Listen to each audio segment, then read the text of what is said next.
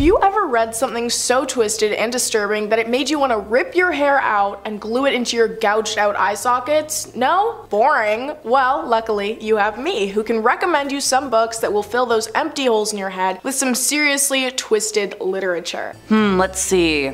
You know what? We'll kick off today with a doozy Heinrich Himmler's Personal Grimoire. If you're unfamiliar with the name, Double H was one of the leading members of the Yahtzee Party, so my verbiage might get interesting for the next little bit. Double H founded the Ahnenerbe, which was a pseudo-scientific organization that was active between 1935 to 1945 and devoted to the task of promoting the racial beliefs held by the Yahtzees. Himmler was very much drawn to the occult and tied this interest into his racist philosophy, for proof of Aryan and Nordic racial superiority from ancient times. He promoted a cult of ancestor worship, particularly among members of the SS, as a way to keep the race pure and provide immortality to the nation. Viewing the SS as an order along the lines of the Teutonic Knights, he had them take over the church of said order in Vienna in 1939. He began the process of replacing Christianity with a new moral code that rejected humanitarianism and challenged the Christian concept of marriage. Himmler modified a variety of existing customs to emphasize the elitism and central role of the SS. An SS naming ceremony was to replace baptism, marriage ceremonies were to be altered, a separate SS funeral ceremony was to be held in addition to Christian ceremonies, and SS-centric celebrations of the summer and winter solstices were instituted. Historian Nicholas Goodrick Clarke analyzed all of this in his 1985 book The Occult Roots of Yahtzeism, in which he argued that there were in fact links between some ideals of Ariosophy and Yahtzee ideology. He also analyzed the problems of the numerous popular occult historiography books written on the topic. In Goodrick Clarke's review, the Ariosophist movement built on the early ideas of the Volkisch movement, a traditionalist pan-German response to industrialization and urbanization, but associated the problems of modernism, specifically with the supposed misdeeds of Freemasonry, Kabbalah, and Let's see if I can get this one right, folks. Rosicrucianism, in order to prove the modern world was based on false and evil principles. The Ariosophist ideals and symbols filtered through several anti-Semitic and nationalist groups in late Wilhelmian Germany, from which the early Yahtzee party emerged in Munich after the First World War. He demonstrated quite a few links between two Ariosophists and Heinrich Himmler. An article titled Schmittler's Forgotten Library by Timothy Ryback, published in The Atlantic, mentions a book from the Dictator's Private Library, authored by Ernst Schertel. Now, Ernst, whose interests were flagellation, dance, occultism, nudism, and quinky things, had also been active as an activist for sexual liberation before 1933. Now, supposedly there is some remnant of Yahtzee magic that can be gleaned from a study of ice magic, and through the work of Blavatsky. Nevertheless, I wouldn't recommend bringing that strain of magic back into the world. Never mind finding Himmler's secret grimoire. No thanks. Next up is less a singular spellbook, but more so any grimoire or spellbook that promises an expertise in B-L-O-O-D magic. Sorry folks, the interrupts are not a fan of the B word, so I have to find substitutes for the redness that pours out of a human wound. When it comes to practitioners of said magic, it's similar, if not exactly the same, as to how the Aztecs wielded power. This might sound kind of cliche, but power like that always comes with a price, which is the reason the Aztecs killed so many people. They avoided the cost by using prisoners, or folks they deemed the lowest of the low. With so much death at ritualistic points where the veil is thin, they could commune or even summon dark entities to the physical realm. So while the idea of forbidden knowledge may seem fun or rebellious or even glamorous, there's things you just shouldn't mess with in the first place. If you're looking for a specific title to avoid, one that I've talked about plenty on here that touches on the subject is the Grimorium Verum. Translated as the Grimoire of Truth, this text has a reputation that yeah, goes without saying. It originated in the 18th century and is part of European magical tradition. And uh, it's not for the faint of heart. The Grimorium Verum is essentially a guidebook, but not the kind you'd find on your local bookstore's bestseller shelf. Nah, this is more like a how-to manual for dealing with entities not exactly on the Christmas card list. The inclusion of red fluids in its rituals is one of its most chilling aspects, if you ask me. I don't really like seeing redness anywhere. It's not the kind of magic you see in fairy tales. This is the stuff of dark alleys and ancient rites. The text details ceremonies involving the shedding of said fluids to summon and control otherworldly beings. It's a kind of forbidden knowledge that's been whispered about in hushed tones throughout history. Like it's just like you hear about it, you don't talk about it. Also, it doesn't stop at fluid exchanges. Like it's an overall comprehensive guide to dealing with demons. Like if you want to make a pact with a demon, yeah, this is the place for it. It's got the instructions for creating a pact, specific prayers and invocations. Technically, it's like a step-by-step -step guide for anybody seeking supernatural assistance. Whether that's a good idea or not, that's up for debate. So why was this banned? And why should you not be reading it? Well, let's just say the church, who we all love, wasn't exactly thrilled about people trying to summon demons on a random Tuesday afternoon. The church authorities saw these texts as a threat, not just to the spiritual well being of their practitioners, but also to the established order. If there's one thing we know about the church, they don't like being threatened. After all, summoning demons and dabbling in fluid magic doesn't exactly align with a Sunday sermon. Not that I personally agree with the church on most things, but this might be the one time I do. You don't want a demon at Thanksgiving. Okie dokie, folks, are you ready for some more fun cult stuff? Okay, so you've all heard about Scientology, right? The cult that pretty much owns Tom Cruise and a bunch of other celebrities. Well, it turns out that their original founder wrote a book that he alleged caused people to take their own lives. And if that isn't magically inclined in some way, I don't know what is. It prompts reflection on the power dynamics between the written word, belief systems, and the vulnerability of the human psyche. So, what is it about this text that can drive individuals to the brink? Well, apparently it's the allure of the unknown, the manipulation of belief systems, maybe a combination of factors that pushes people beyond the boundaries of reason. So we've talked about this guy before, L. Ron Hubbard. He was discussing the Atlantis civilization, and he claimed to have gained this knowledge through his own research and experiences. Am I gonna pretend like I know how he experienced those things? Nap.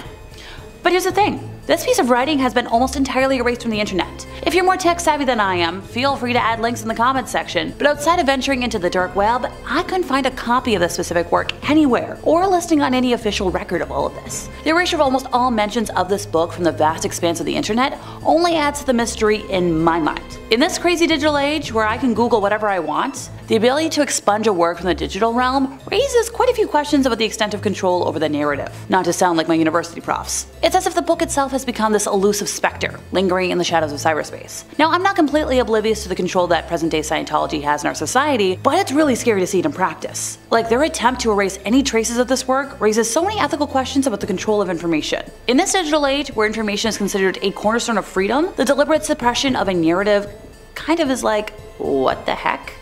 Like, what other forbidden books are there? Just like waiting in the shadows that I don't even know about waiting to disturb some minds out there. Well, there's the Shams al Marif, or Shams al Marif wa Lataif uh, Awarif, which is a 13th century grimoire centered on Arabic magic and has claimed to be a manual for achieving esoteric spirituality. I apologize from the bottom of my heart if I butchered that pronunciation anyway, I promise I did practice. It was written by the scholar Ahmed al Buni, who wrote it while living in Algeria. He passed around 1225 Common Era. It was written by the scholar Ahmed al-Buni, who wrote it while living in Algeria and he passed around 1225 Common Era. Now the book is a patchwork of bits and pieces of the author's authentic works, and texts by other authors. Scholars like Ibn Taymiyyah have criticized the book and labeled al-Buni as a deluded double worshipper. Eh, good to know that across all religions over time, some things never changed. Now in terms of more modern examples, that was a common assumption from Ed and Lorraine Warren.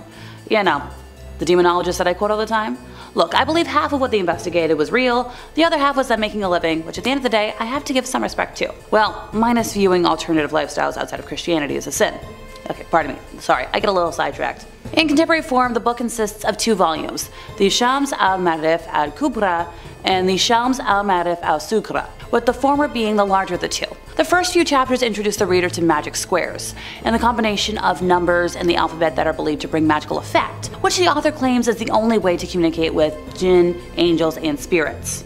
The table of contents that were introduced in the later printed editions of the work contain a list of unnumbered chapters, which stretched to a number of 40 by the way. However, prior to the printing press and various other standardizations, there were three independent volumes that circulated, each one differing in length. While being popular, it also carries a notorious reputation for being suppressed and banned for much of Islamic history, ergo how it found its way to our list today don't read it. However, it continues to persist in being read and studied up to present day, despite its questionable veracity and negative implications. Some Sufi orders, such as the Naqshbandi Haqqani order, have recognized its legitimacy in use as a compendium for the occult and hold it in high respect. Now, another title by the same author, the title having been translated to the Source of the Essentials of Wisdom, is considered its companion text. In terms of translation, although the overall formal translation to English hasn't really happened yet, there have been numerous renditions of a few of the more popular rituals found within the main treatise, as well as those that in its accompanying text.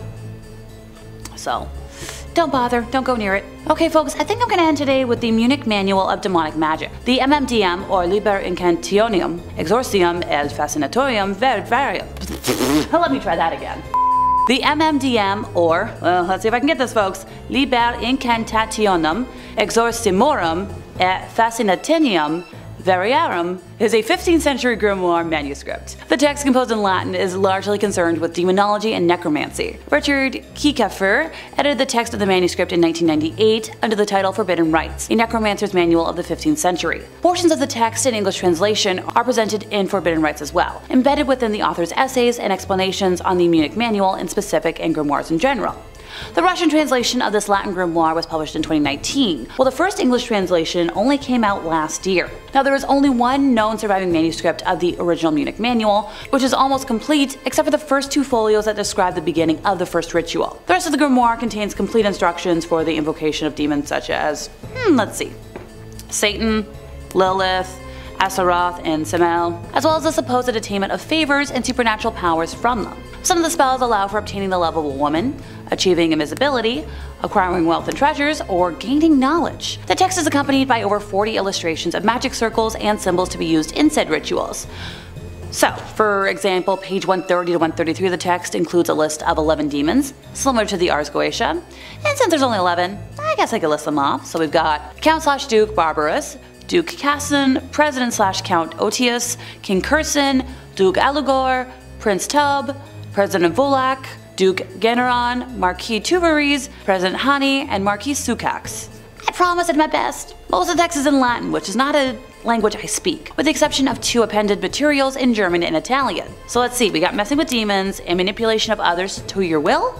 Yeah, no thanks, that sounds like a recipe for disaster. Number 5. The Yellow Wallpaper. Okay, The Yellow Wallpaper. I first read this book when I was in 5th grade, and I do know that it is a lot of required reading for a lot of people. Like, you'd read it in ninth or 10th grade. So you may be thinking now, oh my god, V, why would you put this on the list? It's not cursed, we can all read it. It's a weird book. And it's a good book, a really flipping good book. And I know that we have a lot of videos on this channel of books that are cursed that you cannot read and that you will never get the chance to read. So I wanted to create a video about books that are going to mess up your head and twist your psychology into a complete knot. But if a complete mind twist doesn't interest you and you would prefer hearing about the more supernatural aspects of Top 5 Scary, just search books on our channel's search bar and you will get a plethora of videos to choose from. Today, I really want to talk about things that we can all relate to. But if you are interested in some reading that will mess your mind up and leave you scared and thinking for the rest of your life, definitely stick around because we are about to get into some really cool and twisted reading. So, number four four,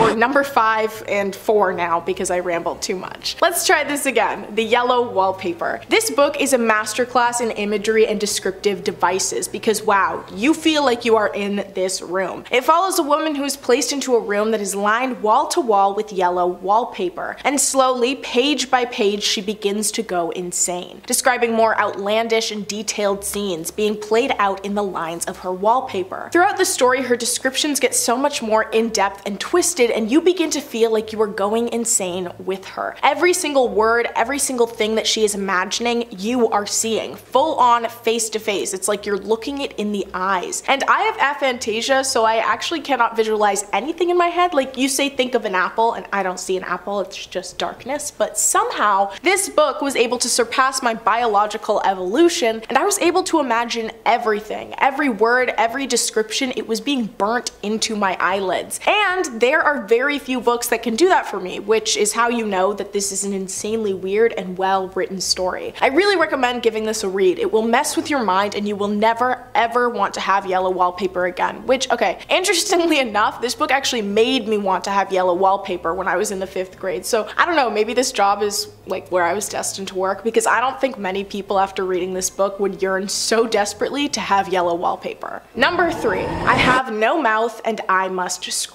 I don't even know where to start with this one. This book left me with such a disturbed and upset feeling right into the pit of my stomach. The story follows a group of five people, the last people alive in a post-apocalyptic Earth that are being eternally tormented in a computer called AM. Okay, so the first time I read this, I was pretty confused, up until I would say probably the second page, and then I started getting really, really into it. But I think you're supposed to be confused so you can really settle into the story and the world world and all of the ideas within. The book centers around five characters who are essentially stuck in an advanced AI computer called AM in a post-apocalyptic world. The computer is vengeful and torments them eternally. They have been stuck here, unaging, essentially immortalized for 109 years. Allegedly. It's okay, it's kind of hard to know for sure because the computer like messes with their mind and time a lot. Every single day for these humans is filled with the computer psychologically, physically tormenting them in every way imaginable in insanely disturbing and creative ways. The book ends with the character who we are hearing the story from realizing that the only way to end the torment they are experiencing and to hurt the computer in some way is like revenge is through their death or by taking away Am's toys. Somehow he ends up being the last one alive. I won't spoil it exactly, but everyone else is dead except for him. Am is very, very upset by this. So Am ensures that for the rest of eternity, he, the last alive, will suffer every day and will never be given the chance to escape through death like the others. He is essentially turned he is essentially turned into a living blob, lacking limbs and appendages. Just wait, lacking limbs and appendages, lacking ears and eyes and a mouth. He's just a mass of goo. His eye sockets are described as being filled with a white fog. He is stuck unmoving for the rest of his eternal life. Which of course brings us to the final line of the book and the title, I have no mouth and I must scream. So yeah, this is an incredibly disturbing book. Cursed, I guess you could say. I would definitely recommend giving the story a read. It is short, but the impact it will have on you is nothing less than long lasting and permanent. Number two, The Lottery. I first read this book a couple of months ago in July. It was an English camp retreat that I read it at, which I won't get too much into, but let's just say I did not enjoy that too much. I was one of two girls in a group of 18 guys, and they were all years younger than me, and most of them weren't funny and mansplained everything to me, which is my worst nightmare, and it was painful. But actually, from the teachers, it was a very educational experience, and I learned a lot. And one of the things I learned about was this story, The Lottery. It is a short story written by the famous Shirley Jackson, and it definitely makes you think. Upon first read, it definitely gives off Hunger Games vibes, and I'm sorry I said vibes, but there is no other way to explain it. Same vibes. It is a very surprising read. I think you'll be surprised by the ending, but upon rereading it, you kind of realize how brutally obvious every piece of foreshadowing was. But upon the first read, you're left with an uneasy feeling. You do not expect what's to come, especially up until the third page, you really don't realize how uneasy everyone is in the story story. You hear about a tradition that other towns are considering canceling. You hear about these very young people going around in groups of friends and picking up pebbles that are being collected in piles after being released from school. You hear casual conversation being exchanged through neighbors. You don't hear the underlying unease that is being sown throughout the crowd of people. Someone goes up to the front of the crowd and next to a dinky yet looming box, they begin to explain that they will be drawing names, like every year in this town's annual lottery. The reader thinks, oh, a game, a lottery, a winner. This is exciting, this is cool, this is great. But you do not expect the ending. And for me, it was kind of a whoa moment where I had to take a step back and reevaluate where the book had shifted to. It's a great book filled with eerie imagery and explanations, and another that will absolutely stay burned into your mind. Number one, The Landlady. This book is by one of my all-time favorite authors, Roald Dahl. Responsible for creating some of the most famous famous stories of all time like Matilda, The Witches, James and the Giant Peach, The BFG, Lamb to the Slaughter, and so, so, so many more, it's no surprising that he would be capable of creating a truly disturbing short story very worthy of being on this list. So, the landlady follows a boy named Billy who is starting a new job in a new town. He looks for a place to stay the night when all of a sudden he sees a beautifully charming and warm house advertising itself as a bed and breakfast. It is run by a friendly but odd lady and only two guests had previously stayed there in the past three years. We know there have only been two guests thanks to a guest book that the old woman makes every single guest who stays there sign, which she tells Billy, and when Billy is signing it, he recognizes the two names, which are the only ones on it, but he can't remember where he recognizes them from, though he feels like they were both famous for the same thing, like they were in a newspaper or something for the same thing. I won't spoil anything because uncovering the truth yourself is far more exciting, exciting. Throughout the book, you feel an uneasy sense of dread, discomfort, and frustration as the naive main character innocently believes everything he is being told and does not seem to comprehend the idea that he could be in danger. It is an extremely captivating book, and I find the descriptions to be very, very lively. The dialogue is eerie and sets the tone of the story masterfully. This book leaves you with a sinking feeling like no other. If you are looking for a read that will stay in your mind every time you check into a small B&B, which, you know, I don't, it's not very common anymore, this is definitely the book for you. Number 5. The Great Omar. The Great Omar was a one-of-a-kind, tailor-made collection of Omar Khayyam's poetry. So if you're looking to score this at your local Barnes & Noble, you might have a bit of trouble. It was commissioned by the owner of a British bookshop, whose sole request was that it would be the greatest modern binding in the world. You know, nothing too lofty though. The book itself is made of 5,000 pieces of leather, 1,000 different gemstones, 100 square feet of gold, and some pages too, I guess. I think there's poetry inside there. The final book was priced for roughly $150,000 after finishing, so it's a pretty expensive book. But what makes it so cursed? Well, when the Great Omar was purchased, it was bought by an American buyer and had to take a transatlantic trip on a little ship called the Titanic, a boat which as far as I know has never been involved in any sort of historical events of note whatsoever. The Great Omar was never recovered from the wreckage and sank with the ship. Ten weeks after the book kissed the ocean floor, the man who bound it, Francis Sangorski, drowned while on vacation at only the age of 37. A little suspicious, isn't it? A bookbinder in the 1930s tried to recreate the Great Omar, Stanley Bray. He finished the second iteration just in time for World War II to begin. The book was placed in a vault on London's Fore Street, which was one of the first sites to be bombed. I guess they heard about the book. The safe that held the book endured through the Blitz, but the safe's contents and the second Great Omar was incinerated and lost to the war. A third version has been crafted and is currently being held in a vault in the British Library, although given the book's history, I don't feel like I would be too comfortable spending any time around it if I didn't have to. Hey, liking what we do here at Top 5 Scary? Well, we always love a little subscribe toss one our way. Number 4.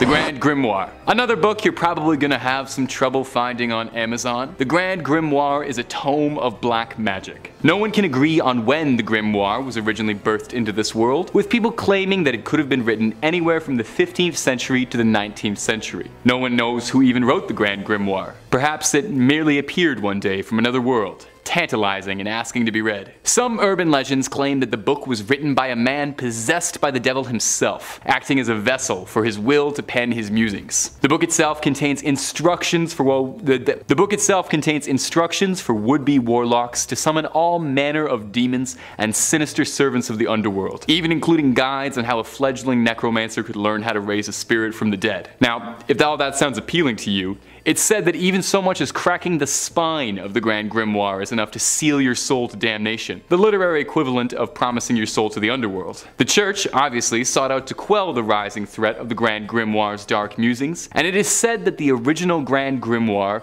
gosh that is fun to say, is currently being held sealed in the Vatican's legendary vault, where it shall never again be seen by prying eyes, or those wishing to uncover its many, many dark secrets. There are alleged excerpts that have been reprinted and made available, but the full Grand Grimoire itself hasn't been seen by anyone in what would be centuries. Perhaps for good reason too. I mean, if the myths and legends around the book are to be believed. Number 3. The Book of Abramelin. The Book of Abramelin, and I'm sure I'm pronouncing that wrong, I'm sure one of you ghouls and goblins will let me know, or the Book of the Sacred Magic of Abramelin the Mage, if you're not into that whole brevity thing, is an allegedly magic text that is thought to have been written at some point during the 14th century. It wasn't until the 19th century that it became recognized for its power, when the Hermetic Order of the Golden Dawn translated the book into English in the late 1890s. Now if you're unfamiliar with the Hermetic Order of the Golden Dawn and you're wondering which Final Fantasy that's from, the Hermetic Order of the Golden Dawn was a secret society devoted to the study of the occult and spiritual development. From here, the book became a key text in occultism, supposedly even inspiring Aleister Crowley's system of magic. So what's inside the book? Any pop-ups? The book centers around an incredibly elaborate ritual aimed at allowing a practicing sorcerer to communicate with their holy guardian angel. The book theorizing that everyone has their own personal guardian angel, a celestial other half from another world, if you will. After the sorcerer summons their guardian angel and enjoys a honeymoon phase, the book describes a uh, period of blissful intimacy, one needs to conquer every unredeemed spirit of the infernal regions, which sounds like a bit of a task. There's a lot of people, there's a lot of unredeemed spirit. Luckily, I, I, think the angel helps out a bit. If the legends are true, then undoubtedly the information in this book isn't the kind of thing that should ever be falling into the wrong hands. I mean, that's just a general good piece of life advice. As a general rule of thumb, you shouldn't mess with demons unless you know what you're doing, okay? That's the kind of thing to leave up to professionals. For all of our sakes, you know? Number two, the Voynich Manuscript. The Voynich Manuscript is one of the more interesting books on this list. It's named after the first public owner of it, Wilfrid Voynich. Unlike most of these cursed banned books, the Voynich manuscript is actually something you can seek out and read via Yale University's online collection, and you are more than welcome to peer over its pages, although you might find it a bit of a difficult text to read, because the Voynich manuscript is written in a language that no human being speaks or has ever spoken. Carbon dating suggests the manuscript was first written at some unspecified time during the 14th century, and all 240 of the manuscript's pages are written completely unintelligibly, so if you want to take a look at this thing and try and help us crack this, please be my guest. Adorning its pages are confusing illustrations that only serve to further its mysterious reputation with most of the drawings looking like a cross between a Hieronymus Bosch painting and a fever dream kaleidoscope nightmare. The book has made its way through countless owners, a succession of kings and other powerful leaders, and yet in all the years of its existence, no one has even come remotely close to understanding just what the Voynich manuscript is, where it came from, and what its purpose is. Is it cursed? Well, it's possible. Maybe it contains the instructions for all manner of demonic and occult magic and we just don't know how to read it yet. There are some people who believe that the Voynich manuscript could have been written by an extraterrestrial entity and gifted to us. And there's even some legends that claim the manuscript has some sort of apocalyptic curse hidden inside its mysterious scrawlings. We might never know, unless you might be the one to crack it for us. Number 1. Codex Gigas. Codex Gigas, Gigas, Gigas, one of you guys will tell me, I'm sure. Oft referred to as the Devil's Bible is the biggest entry on this list, and not just for its renown. No, it, it's like literally the biggest entry on this list. It's 3 feet tall and weighs around 80 pounds. It wouldn't surprise me at all if the curse this book inflicts on you is a hernia. The Codex Gigas, which literally translates to giant book, is a medieval manuscript dating back to the 12th century. So what's the deal with the Codex Gigas? Well, legends tell the Codex was penned by a monk who had broken his vows, and to repent for his sins, he was sentenced to be walled up alive. He promised, as an apology, that he would write a powerful book to glorify the monastery, and his book would contain all known human knowledge at that point. Everything the original Wikipedia, and he wasn't even asking for donations. The legend continues that the monk, realizing that this task was a bit lofty, even for the quickest of scribes, reached out for some help co-authoring his mighty manuscript. He reached out and prayed, but not from God, but instead from Lucifer, asking for help finishing the book in exchange for his eternal soul. I'm uh, starting to understand why he was sentenced for breaking his vows. Not really the best plan if you're looking to redeem yourself in the eyes of the church by making a deal with the devil, but hey, We've all done pretty crazy things trying to make a deadline, I totally get it. It's said that Lucifer himself helped complete the book, and the monk drew a portrait of the devil himself as thanks. That's where the book gets its name, the Devil's Bible. The book is replete with occultism, dark rituals, and imagery. I mean, after all, it's said to contain the entirety of the knowledge of the human race up to this point. So who's to speak what sort of sinister secrets are kept between its giant pages? There were estimates and tests to try and recreate the manuscript, suggesting that even one man writing without illustrations, would have taken the better part of two decades to write the calligraphy present inside that book. So did this monk have some otherworldly help? Maybe just a huge stack of Red Bull? And what is inside this book? If your Latin's any good, the manuscript is kept on display in the National Library of Stockholm. Just be careful what you read. You got no idea what you could bring into this world. The Oracles of Nostradamus, penned by Michel de Nostredame. This collection of prophecies has been linked with numerous calamities, including natural disasters and wars. Some believe that merely reading it can bring about bad luck or even losing your life. The prophecies of Nostradamus have been a topic of fascination and debate since their first publication in the late 16th century. Despite being written centuries ago, many people still turn to these prophetic writings for insight into the future. But who was Nostradamus and how accurate were his predictions? Michel de Nostredame, or Nostradamus, as he is more commonly known, was a French physician and astrologer who lived during the Renaissance period. He gained popularity for his medical writings and later turned to writing almanacs that contained his predictions for the future. Nostradamus's prophecies were written in a cryptic format using a mix of historical references, astrological symbolism, and wordplay. The style of writing has led to different interpretations of his predictions, with some claiming that they have accurately foretold major events such as the rise of Hitler.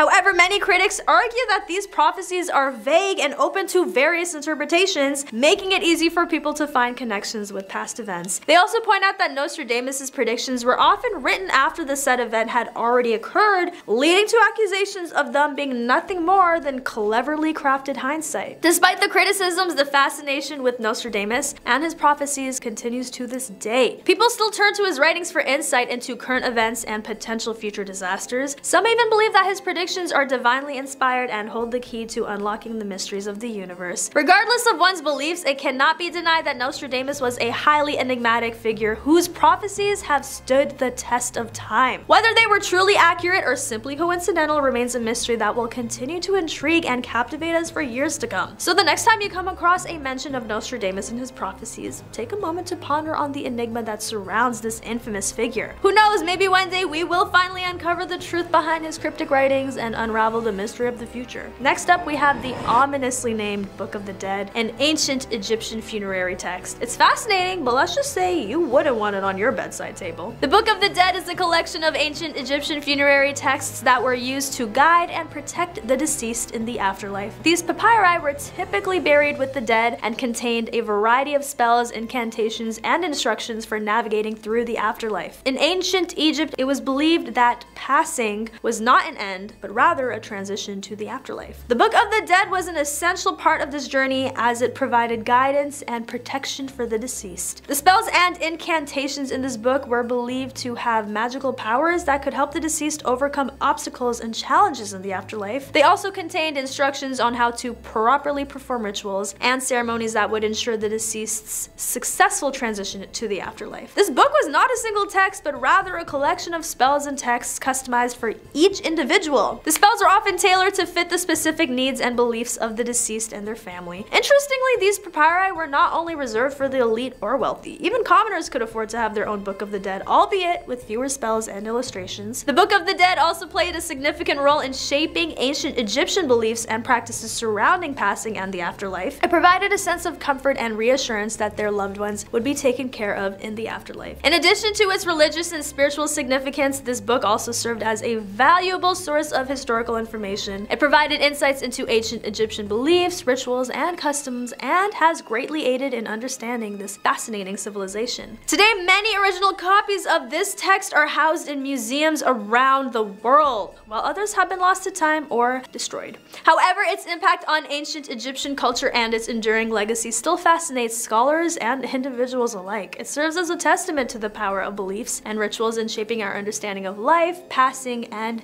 afterlife. The Book of the Dead continues to capture our imagination and remains an integral part of ancient Egyptian culture. Its enigmatic spells and vivid illustrations continue to intrigue us, offering a glimpse into the beliefs and practices of one of the world's oldest civilizations. So while you may not want it on your bedside table, the Book of the Dead remains a captivating and essential piece of ancient Egyptian history. The fascination with passing and the afterlife is a common theme among many cultures throughout history. Next on our list is the Picatrix, an ancient Egyptian grimoire filled with magical and astrological secrets. Supposedly, it can inflict madness on those who dare to decipher it. The Picatrix is a mysterious and intriguing grimoire that has fascinated scholars and occultists for centuries. The Picatrix is a mysterious and intriguing grimoire that has fascinated scholars and occultists for centuries. Its origins can be traced back to ancient Arabic texts believed to have been written in the 10th or 11th century. The name Picatrix is derived from the Latin word word picus, meaning tar, and tricks, which translates to maker or creator. This name perfectly encapsulates the book's contents as it is said to have the power to create and manifest magical effects. The Picatrix is divided into four books, each containing various chapters and sections. The first book primarily focuses on cosmology and astrology, exploring the relationship between celestial bodies and magic. It delves into the planetary influences and their corresponding herbs, stones, and metals that can be used in magical rituals. The second book delves deeper into the practical application of magic, providing instructions on creating talismans and amulets for specific purposes. It also discusses the use of planetary hours and astrological calculations to enhance the effectiveness of spells. The third book is dedicated to exploring natural magic, which involves harnessing the powers of nature and its elements for magical purposes. The section covers topics such as alchemy, dream interpretation, and the creation of various magical objects. And the final book delves into advanced forms of magic, including evocation and invocation of spirits, demons, and other entities. It also provides instructions on how to summon and control these beings for personal gain. Despite its reputation as a dangerous and powerful grimoire, the Picatrix is also revered for its rich knowledge and insights into ancient magical practices. It has been studied and referenced by many occultists throughout history, including famous figures such as Cornelius Agrippa and John Dee. The Picatrix continues to intrigue and captivate modern readers, sparking debates about its true intentions and power. Whether it is a powerful tool for manifesting magic or simply an elaborate collection of ancient knowledge, the Picatrix remains a significant piece of occult literature that continues to inspire and fascinate today. So if you dare to delve into its secrets, be warned. You may encounter madness or enlightenment along the way, so why not take a chance and unravel the mysteries of the Picatrix for yourself? Who knows what hidden knowledge and power it may hold? Coming up next is the Voynich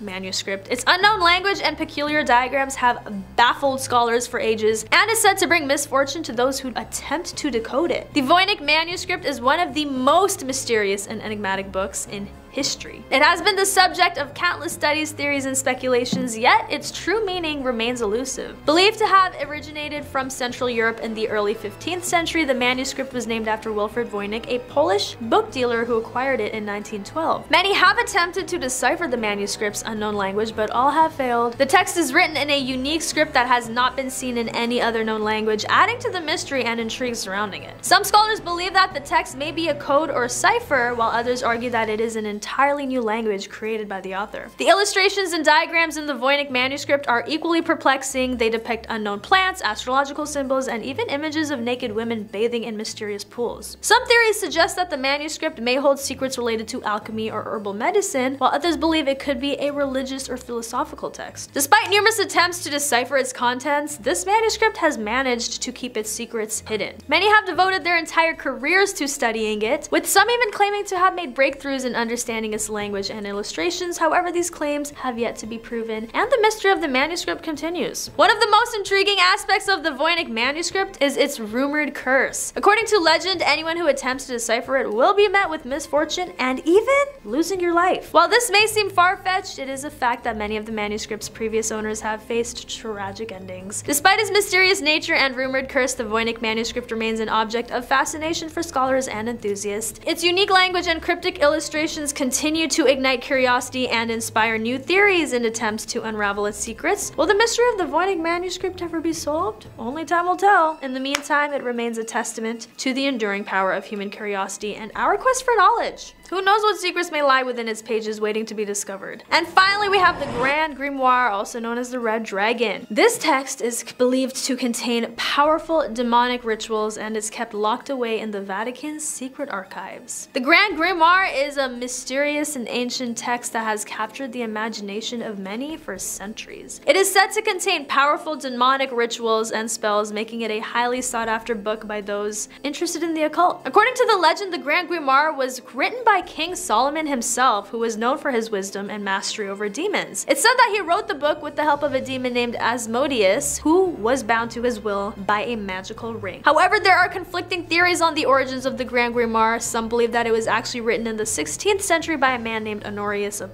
Thebes, while others believe that it was a compilation of various texts from different authors. Despite its disputed origins, the Grand Grimoire has gained a reputation as one of the most powerful and dangerous books in existence. It's even rumored to have been used by Napoleon Bonaparte himself to gain power and success on the battlefield. Due to its perceived danger and influence, the Grand Grimoire has been closely guarded and kept locked away in the Vatican secret archives. It's said that only a select few have access to it, and even then, they must go through rigorous testing and training before being allowed to study its contents. The secrecy surrounding the Grand Grimoire has only added to its allure, with many believing that it holds the key to unlocking great power and knowledge. However, some caution that the and spells within his page should not be taken lightly, as they could have serious consequences for those who attempt to use them. Number 5. The Book of the Sacred Magic of Abramelin the Mage. The Book of Abramelin, or more formally, the Book of the Sacred Magic of Abramelin the Mage, is a Jewish magic text that is thought to date back at some point in the 14th or 15th century. Now, it wasn't this initial publication that gave it such a notoriety. There wasn't really a lot of book reviewing going on back then. It was when it was upheld by the 19th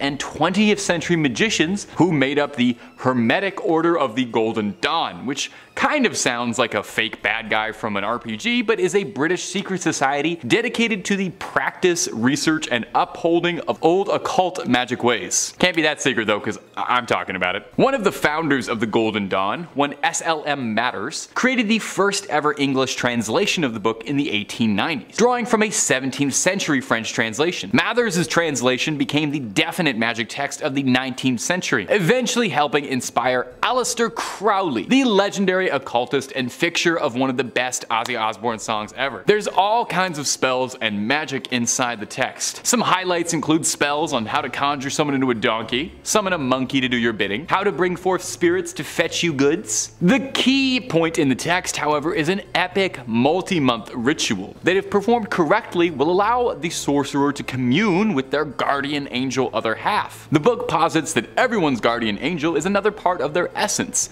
a spiritual other. The ritual involves, oh, um,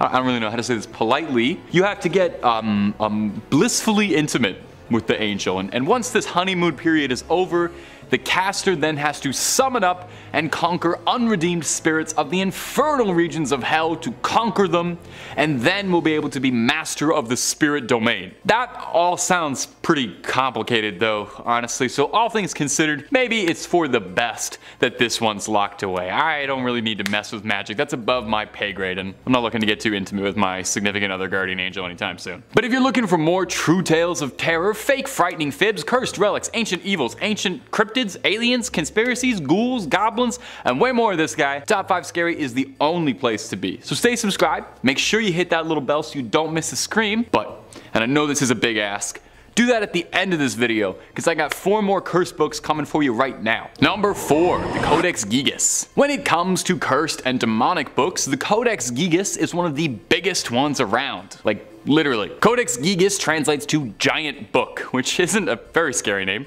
but when you see the size of this behemoth, it starts to make a bit more sense.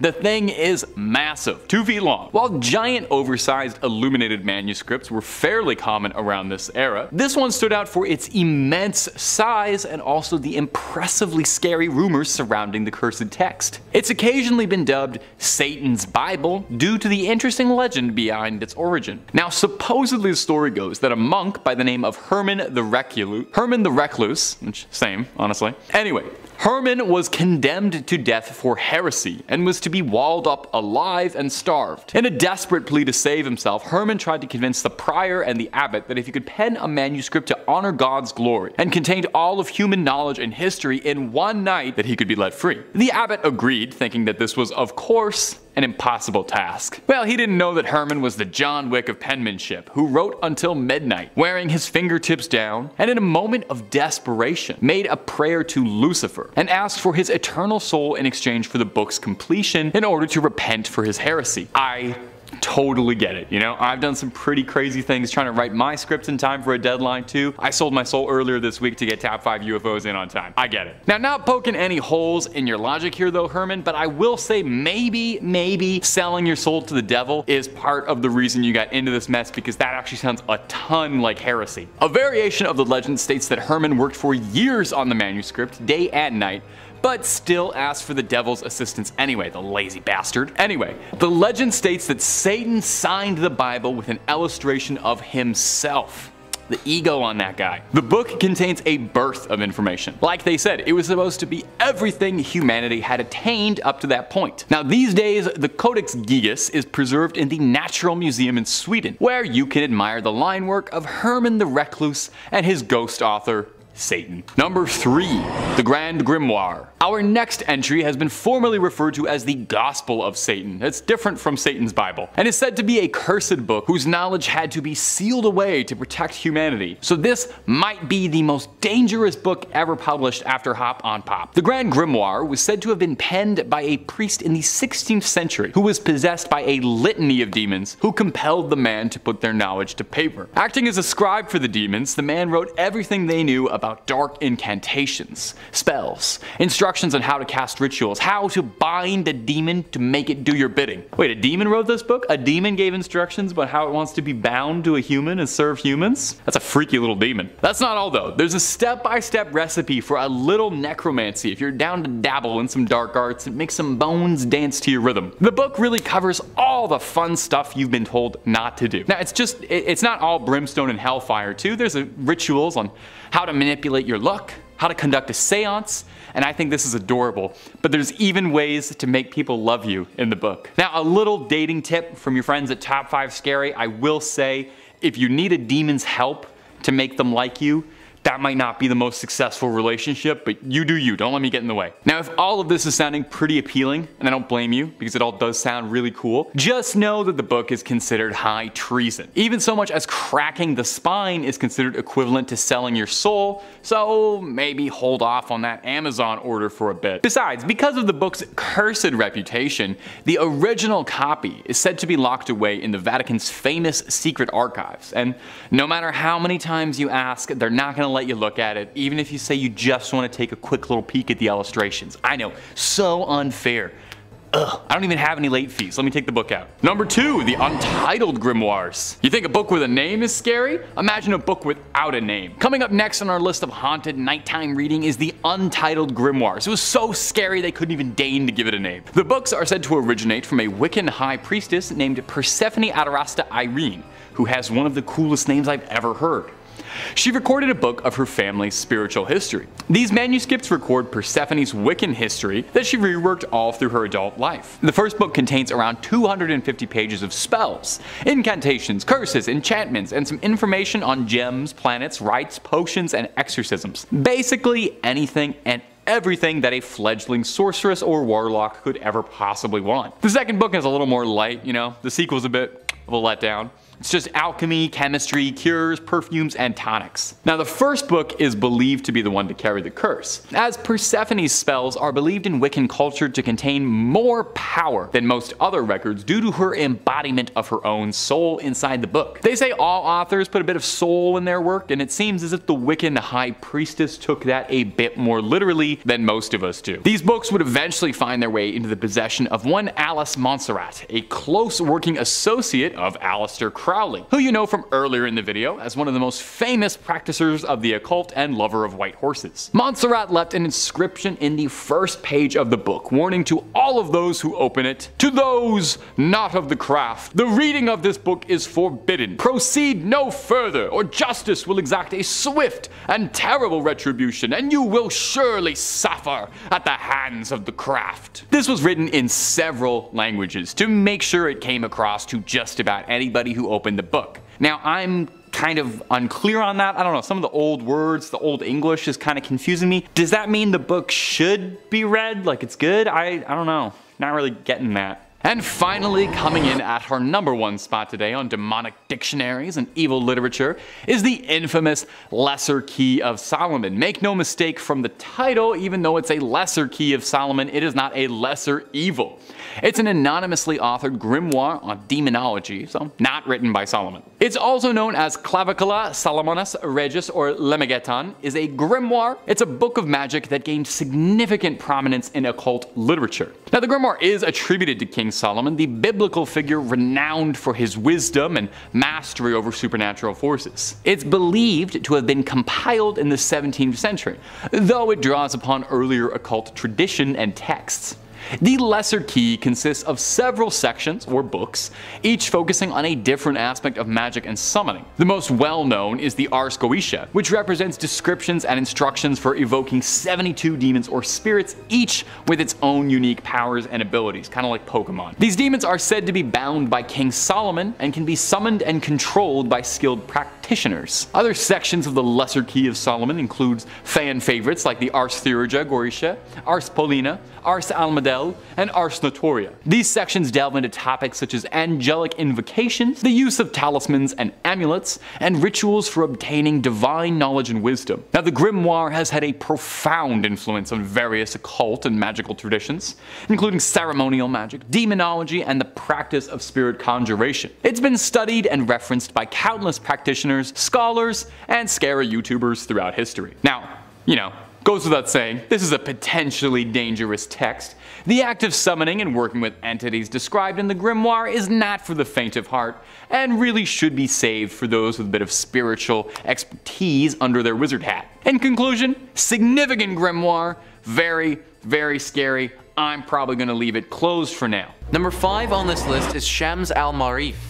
This book, from my findings, is not inherently evil in its teachings, but is one of those examples of potentially being a bit too much power for one person to possess. It's a 13th century Arabic grimoire written by Ahmed al-Buni. The book attempts to teach its readers how to perform ancient Arabic magic and is very spiritualistic. This book was super influential in Arabic culture and gained a large following. Many good things have come from this book, but also when you have a large amount of people following anything, some take it too far. Wikipedia writes writes, in contemporary form, the book consists of two volumes, Shams al-Marif al-Kubra and Shams al-Marif al-Sugra, the former being the larger of the two. The first few chapters introduce the reader to magic squares and the combination of numbers and the alphabet that are believed to bring magical effect, which the author insists is the only way to communicate with jinn, angels, and spirits. And that right there is one of the main teachings in this book, the ability to talk to spirits. The amount of scary stories that we've talked about on this channel though, in regards to people trying to communicate with the dead is crazy and it shows just how often things like this can go wrong. This has obviously happened many a time with this book and those trying to reach their departed loved one end up contacting a super dangerous demon. I don't think that there's anything morally wrong with contacting the dead, if the dead are okay with it of course, but it seems like doing this always ends up with something bad happening. This grimoire won't curse you just by simply reading it, but if you try and perform some of the rituals it suggests, then it's very likely that you could cause some serious harm to you or those that you love. I recommend just avoiding this book altogether. Number 4 on this list is De Vermis Mysteriis. Now the book in question here is actually a fictional book and therefore it would be actually impossible for you to read it anyways even if you wanted to for some reason. But that being said it doesn't change the fact that it's definitely cursed and extremely evil. If this book was real then we would need to get rid of it as soon as possible because it teaches humans how to do some very dangerous things. The book is part of the Lovecraftian universe and made its first appearance in The Secret of the Tomb. The book isn't referenced too much in that story, but it's described in pretty good detail in the story The Black Bargain. In that book, it describes De Vermis Mysteriis as something that told you how you could compound aconite and belladonna and draw circles of phosphorescent fire on the floor when the stars were right. Something that spoke of melting tallow candles and blending them with corpse fat, whispered of the uses to which animal sacrifices might be put. It spoke of meetings that could be arranged with various parties, most most people don't even believe in with cold, deliberate directions for traffic with ancient evil. Drawing circles of fire, sacrificing animals, talking with ancient evil, this all sounds like pretty bad news to me especially the part that says you can arrange meetings with various parties. It's clear that not only can this book teach someone how to perform any number of spells and incantations, but some of those spells will deal with the summoning of ancient demons and creatures. And if we assume that this book is real and can be read, then that would also mean that the terrifyingly powerful gods Lovecraft wrote about would also be real, meaning that this book could grant you the ability to summon Cthulhu or something even worse. Summoning your standard demon is already bad bad enough, but an all-knowing, super powerful god definitely raises the stakes a little bit. This book, from every description I can read about, sounds like something that's just far too dangerous for any human to use and wield safely. If it ever was real and you did happen to stumble upon it, best to avoid reading it at all costs. Number 3 on this list is the Book of Abramelin. Abraham was an Egyptian mage who lived between 1362 and 1458 and dedicated his life to magic. Once Abraham visited Egypt and there he met a magician, not that magician which you see on TV shows, but that who really knows dark magic and dark secrets. He told Abraham many dark and mysterious secrets and strange things which you and I can never imagine. He told him how to live the dead person, the location of under-earth treasures, how to contact devils. Besides this, he also told him the secrets of becoming invisible and flying in the sky. That last passage that I just read was written by Sharik Kamal while he was listing the most cursed books of all time. This book is known to be dangerous and it isn't just because of the contents in it either. Yes, summoning the dead and performing dark magic in its own right is very dangerous and has the potential to cause serious problems for you and those around you. This book though may just be inherently cursed to begin with. Many people who have read this book, even those who don't go on to perform any of the rituals or incantations that the book describes, have gotten horribly bad luck afterwards. Like the second they opened up the book and started reading, their entire life just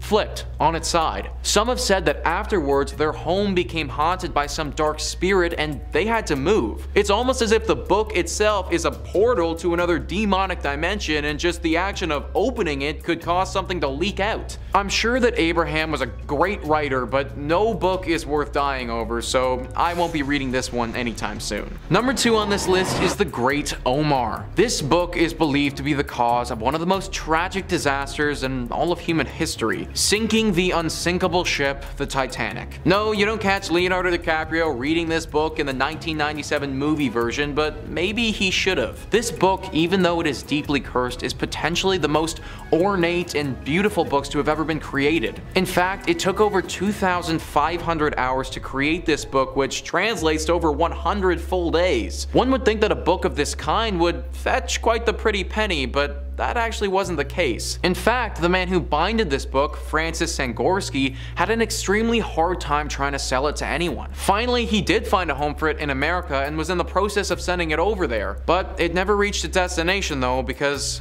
it was on the Titanic. Now the reason that people think this book had something to do with the unsinkable ship sinking is because only a week or so after the ship had gone down, so did Sangorski. He died by drowning to death a very short time after the book had also sunk to the bottom of the ocean. This is why people believe that something about this book will curse those around it and potentially lead to someone drowning. I personally think it's a bit of a stretch to just assume that having this book caused the entire Titanic to sink, However, it is a remarkable coincidence what happened to Sangorski. It probably won't ever happen, but if this book ever did wash ashore one day, I wouldn't want to be the one to pick it up first. Number one on this list is the Book of Soyga. The Book of Soyga is one of the most complete collections of magic and dark magic that one could come across. Wikipedia writes, amongst the incantations and instructions on magic, astrology, demonology, lists of conjunctions, lunar mansions, and names of genealogies of angels, the book contains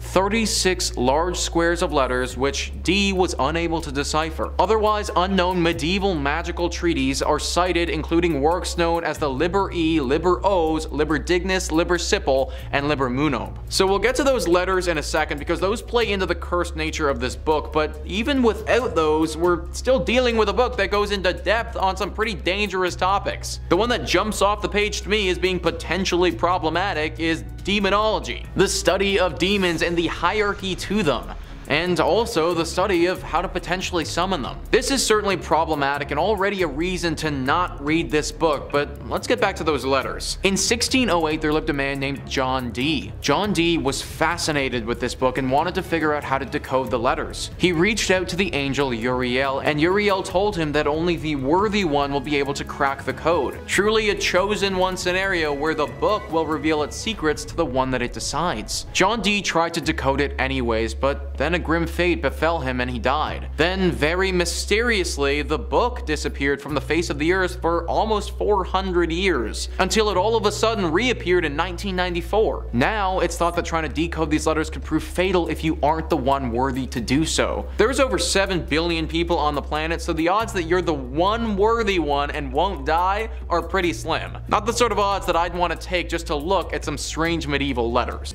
Number 5 on this list is the Treatise of the Vessels. The year is 1981. Harrison Ford has already taken the big screen a few times, but is he a leading actor? Yes, Raiders of the Lost Ark takes to the screen and the beautiful George Lucas and Steven Spielberg brainchild officially solidifies Harrison Ford as being an elite A-lister in Hollywood. Well, this beautiful brainchild of theirs didn't just come out of thin air, but it was very likely inspired by the treaties of the Vessels. This text is said to talk about some priceless treasures from King Solomon along with the Ark of the Covenant. If found, these would be some of the most valuable things ever rediscovered in all of human history. When there's gold, people are going to come, and the same thing applies here.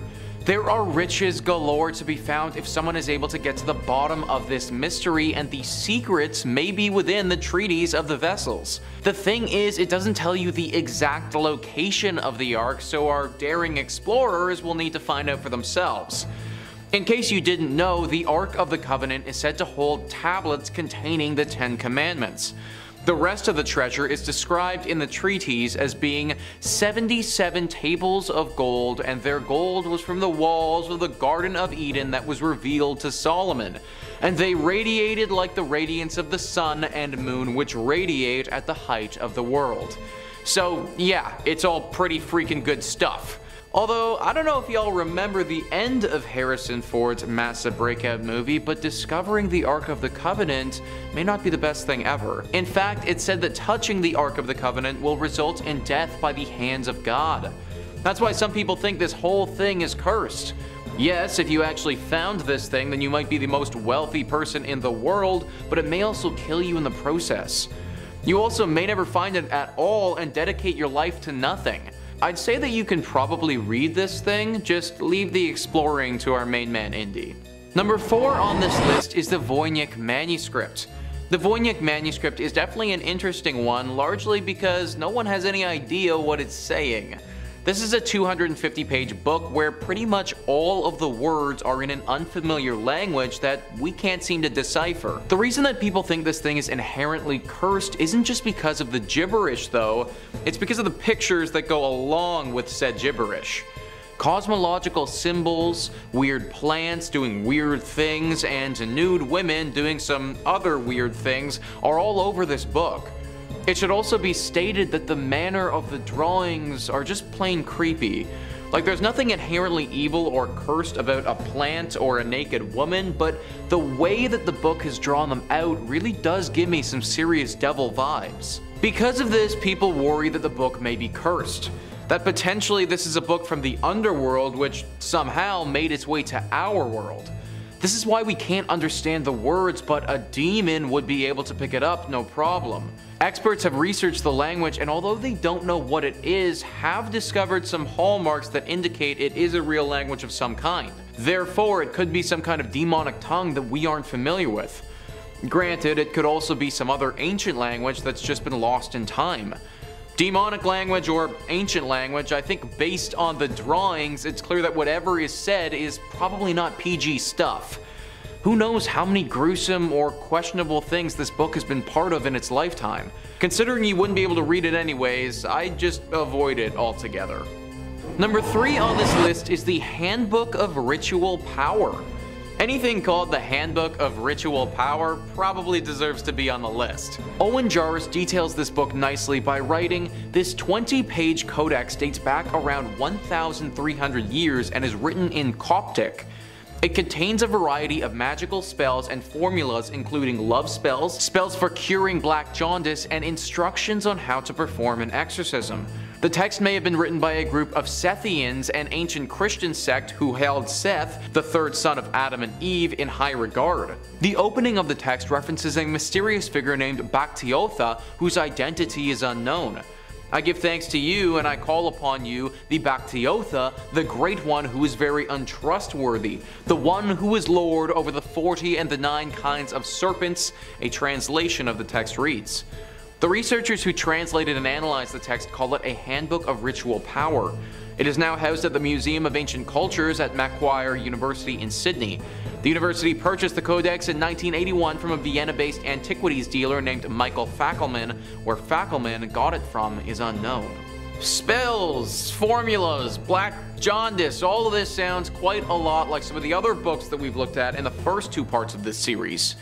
A book that probably teaches humans some skills that we simply aren't ready to receive. A book that, if it fell into the wrong hands, somebody with evil intentions, could prove to be really, really bad. There are things that need to be left in the hands of higher beings, and making somebody fall in love with someone else may just be one of them. Keep this book locked up and away from prying eyes. Number 2 on this list is the Dresden Codex. Owen Jarvis details once again the Dresden Codex beautifully by writing, The Dresden Codex is a Mayan text dating back around 800 years. It contains 39 beautifully illustrated sheets with texts and images on both sides. Research published in 2016 in the Journal of Astronomy and Culture indicates that the Codex records the phases of the planet Venus so that the Maya would be certain that their ceremonial events were being held on the correct day. The Maya had a really elaborate ritual set of events that were tied to the calendar. Study researcher Gerardo Aldana, a science historian at the University of California, Santa Barbara, told Live Science. They were probably doing large-scale ritual activities connected to the different phases of Venus. Now, for those who don't know, Venus, albeit a very beautiful planet, is often tied to Lucifer. It should also be noted that the Mayans were known to perform the occasional human sacrifice, and I don't think it's a stretch to say that this text most likely contains dates when human sacrifices are to be performed. The Dresden Codex would have acted as an agenda to make sure that our Mayans kept on track with their sacrificial rituals to honor Venus. For this reason, it's thought that this codex is cursed with the souls of those who were sacrificed. It's also very dangerous to perform any of these rituals as they will likely involve the loss of human life and potentially reaching out to some very dangerous gods. This is the oldest surviving Maya book and for that reason needs to be kept around for research, but I wouldn't recommend the average person giving it a read. And finally, number one on this list is Liber Linteus. This text is currently considered to be the longest lasting Etruscan text in all of history. It dates back to the 3rd century BCE, and because not much is known about the Etruscan language, it remains mostly untranslated. However, experts who study such things have been able to decipher some of it and have discovered that the text was a ritual calendar. A collection of dates with specific rituals to be performed on said dates. The exact details of these rituals are unknown, but we assume them to be centered around human sacrifices and things of that nature. This is already enough to fear this book, but what makes it inherently cursed is how the pages were used for several thousand years. Mihailo Beric was a low-ranking Croatian official who, in 1848, decided to leave his position and travel to Egypt. While he was there, he decided to purchase a sarcophagus with a mummy inside. Why someone would want a coffin with a preserved dead body in it is beyond me, but apparently this was pretty cool to own back then. Anyways, he takes this mummy back to his home in Vienna and stands it upright in the corner of one of his rooms. It wasn't until after he died though and his brother donated the mummy to the State Institute of Croatia that somebody realized what the mummy was covered with. The bandages that preserved the mummy were covered in writing. These bandages were the Liber Linteus and had been used as rags for this mummy for centuries. Now this text is locked in a refrigerated room in the Archaeological Museum of Croatia and for good reason. Not only is the writing of this text potentially very dangerous, but people believe that the spirit of this dead mummy haunts the rags and that they're cursed. Those that come into contact with them or God forbid read them could have some very tragic events befall them. For this reason, I highly recommend staying away from the Liber Linteus at all costs. Number 5. The Complete Book of Demonolatry. Written by S. Connolly, it boasts telling the reader how to discover powerful rites, magic, and practices that honor Satan and the demons. This text, used by the traditional demonolatry priesthood to train members of their covens, is part workbook, part textbook, and part reference book. It includes thorough chapters on demonolatry, history, demonic holy days, offerings, prayers, sigils, religious rites, and an introduction to demonology magic. Okay, this might be the first book I'm tempted to buy for myself. If only just to learn more about like demonology history from somebody that isn't, you know, like Ed Warren for once. I love the Warrens and their work, but at the same time, it would be neat to learn from a lens that isn't, you know, as biased in Catholicism. Alright, let's see what else it advertises. Learn how and why the ends, demonology sigils, ascension, and many other demonology methods have become standard practice among many theistic Satanists. It claims to guide students from pre-initiate to adept, and even delves into the depths of demonology, um, Schmeck's magic, necromancy, scarlet elixir rites, and red fluid sacrifice. See, that last phrase I can do without, but let me know what y'all think in the comments. Should I bother investing in it or not? Now before anybody asks, well why should you leave this book alone on Halloween? That just so happens to be when the veil between our world and the spirit world is the thinnest, and you don't want to accidentally summon a demon when you're just learning how to. Not a fun idea. Ah, number 4, Mein Kampf. Alrighty folks, this is where I'm using demonic as more as an adjective instead of actually talking about demons. Also, this is a book that should never be consumed in general. More like exist in a museum so that we, keep, you know, don't turn into a case of those who ignore history are doomed to repeat it. This is an autobiography of Germany's infamous, actually Austrian-born dictator whose name I can't say on here. Its title means my struggle or battle because, you know, organizing genocide is hard work. Didn't you know? Everybody clap for this man's tenacity, his perseverance, his sheer determination. Hard work makes dreams come true, don't you know? Ugh, the prick. The book, released in two volumes, is in reality the evil dictator's case for anti-Semitism. He outlines exactly how he came to be as he was, before putting forth his racial and political views and describing his vision for the future of Germany. From a technical point of view, this book is apparently overly long, repetitious, and poorly written. You know, seeing as it was written by one of the world's most evil men in history, it was deemed just cause for banning it in Austria and Russia. Interestingly enough, Germany held the copyright over this book until 2016. Until then, printing and dissemination of the work was strictly banned.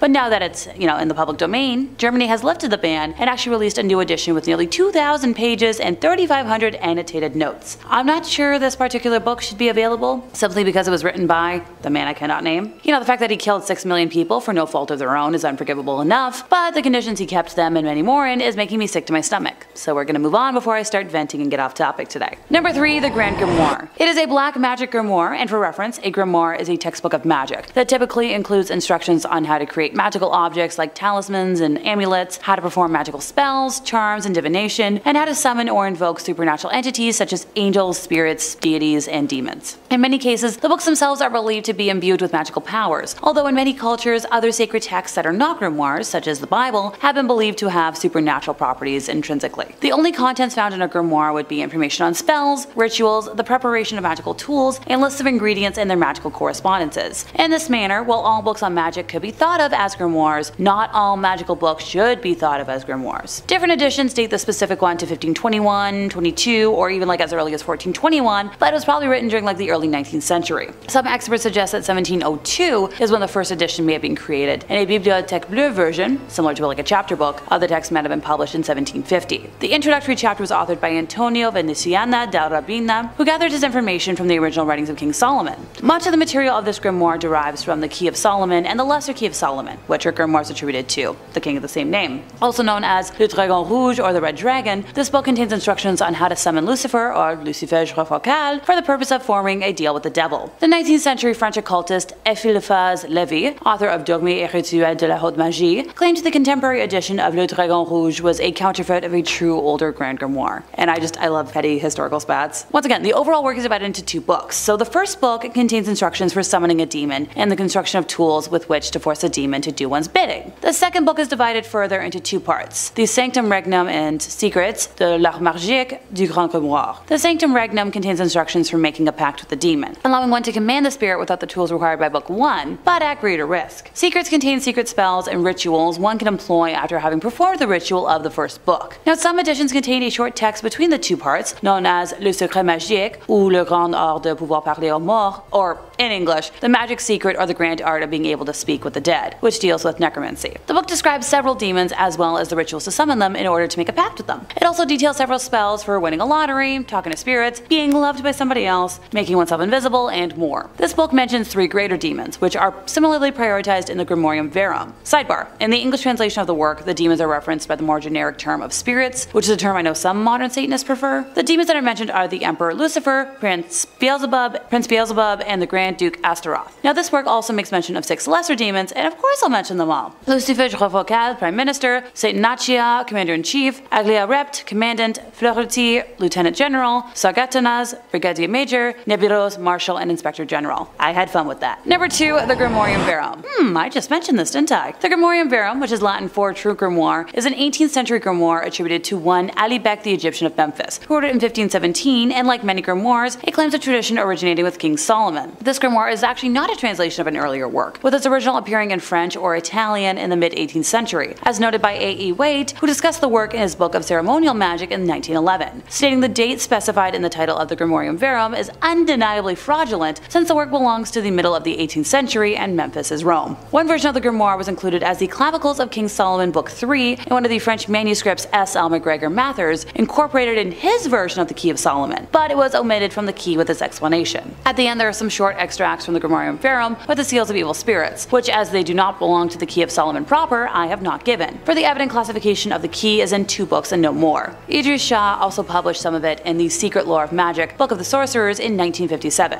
Alrighty, time to break down all four books that you should not be touching on Halloween. Book 1 is described as concerning the character of demons, particularly the superior spirits of Lucifer, Beelzebub, Astaroth, while also including the many inferior spirits below them and their invoking sig- ah, while also including the many inferior spirits below them and their invoking sigils. Alright, who wants to hear about what all the lesser spirits can do?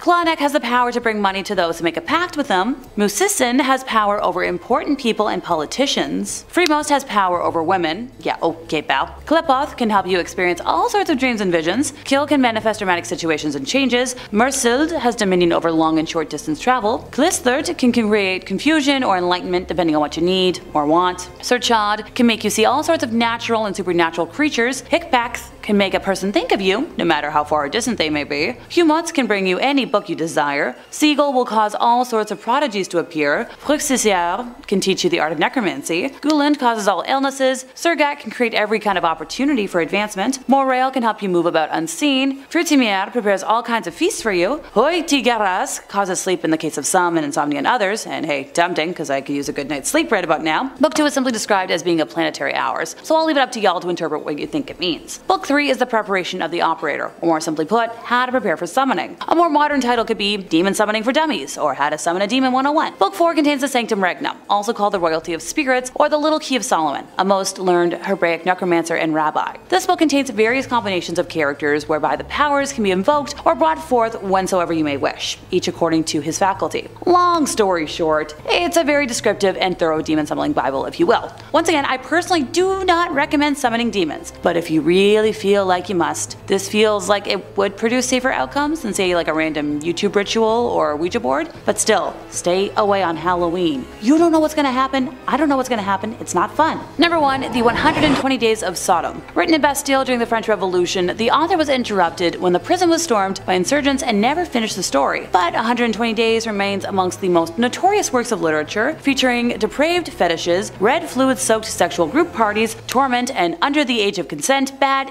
schmecks thing. Look, I'd say the actual terms if I could. Trust me, it would make my life so much easier, but I've gotta play by the interweb rules. Described as very sexual and erotic, its plot revolves around the activities of four wealthy libertine men who spend four months seeking out the ultimate sexual gratification through group sex fun parties, sealing themselves away in an inaccessible castle in the heart of the Black Forest in Germany with four madams and a harem of 36 victims, mostly young people. The madams relate stories of their most memorable clients, whose crimes and punishments inspire the libertines to likewise and increasingly harm their victims to their eventual deaths. Now the novel was never completed. Its first chapter was written according to Say's written plan, but the subsequent chapters are in the form of rough drafts and notes, often consisting of graphic descriptions of the novel scenes. The book was first published in Germany back in 1904, and then banned across Europe for most of the 20th century. A 1975 film adaptation by Pier Paolo Pasolini was also banned in several countries. South Korea has banned the book twice this century, and now it can be sold there only in a sealed plastic cover to adults 19 or over. Once again, don't read it. If cursing power were based solely on a book's size, the Codex Gigas, otherwise known as the Devil's Bible, would probably be the most dangerous book ever written. Weighing in at a whopping 165 pounds and measuring about 3 feet in height, the roughly 800 year old tome is thought to be the world's largest surviving medieval manuscript. Codex Gigas literally means a giant book.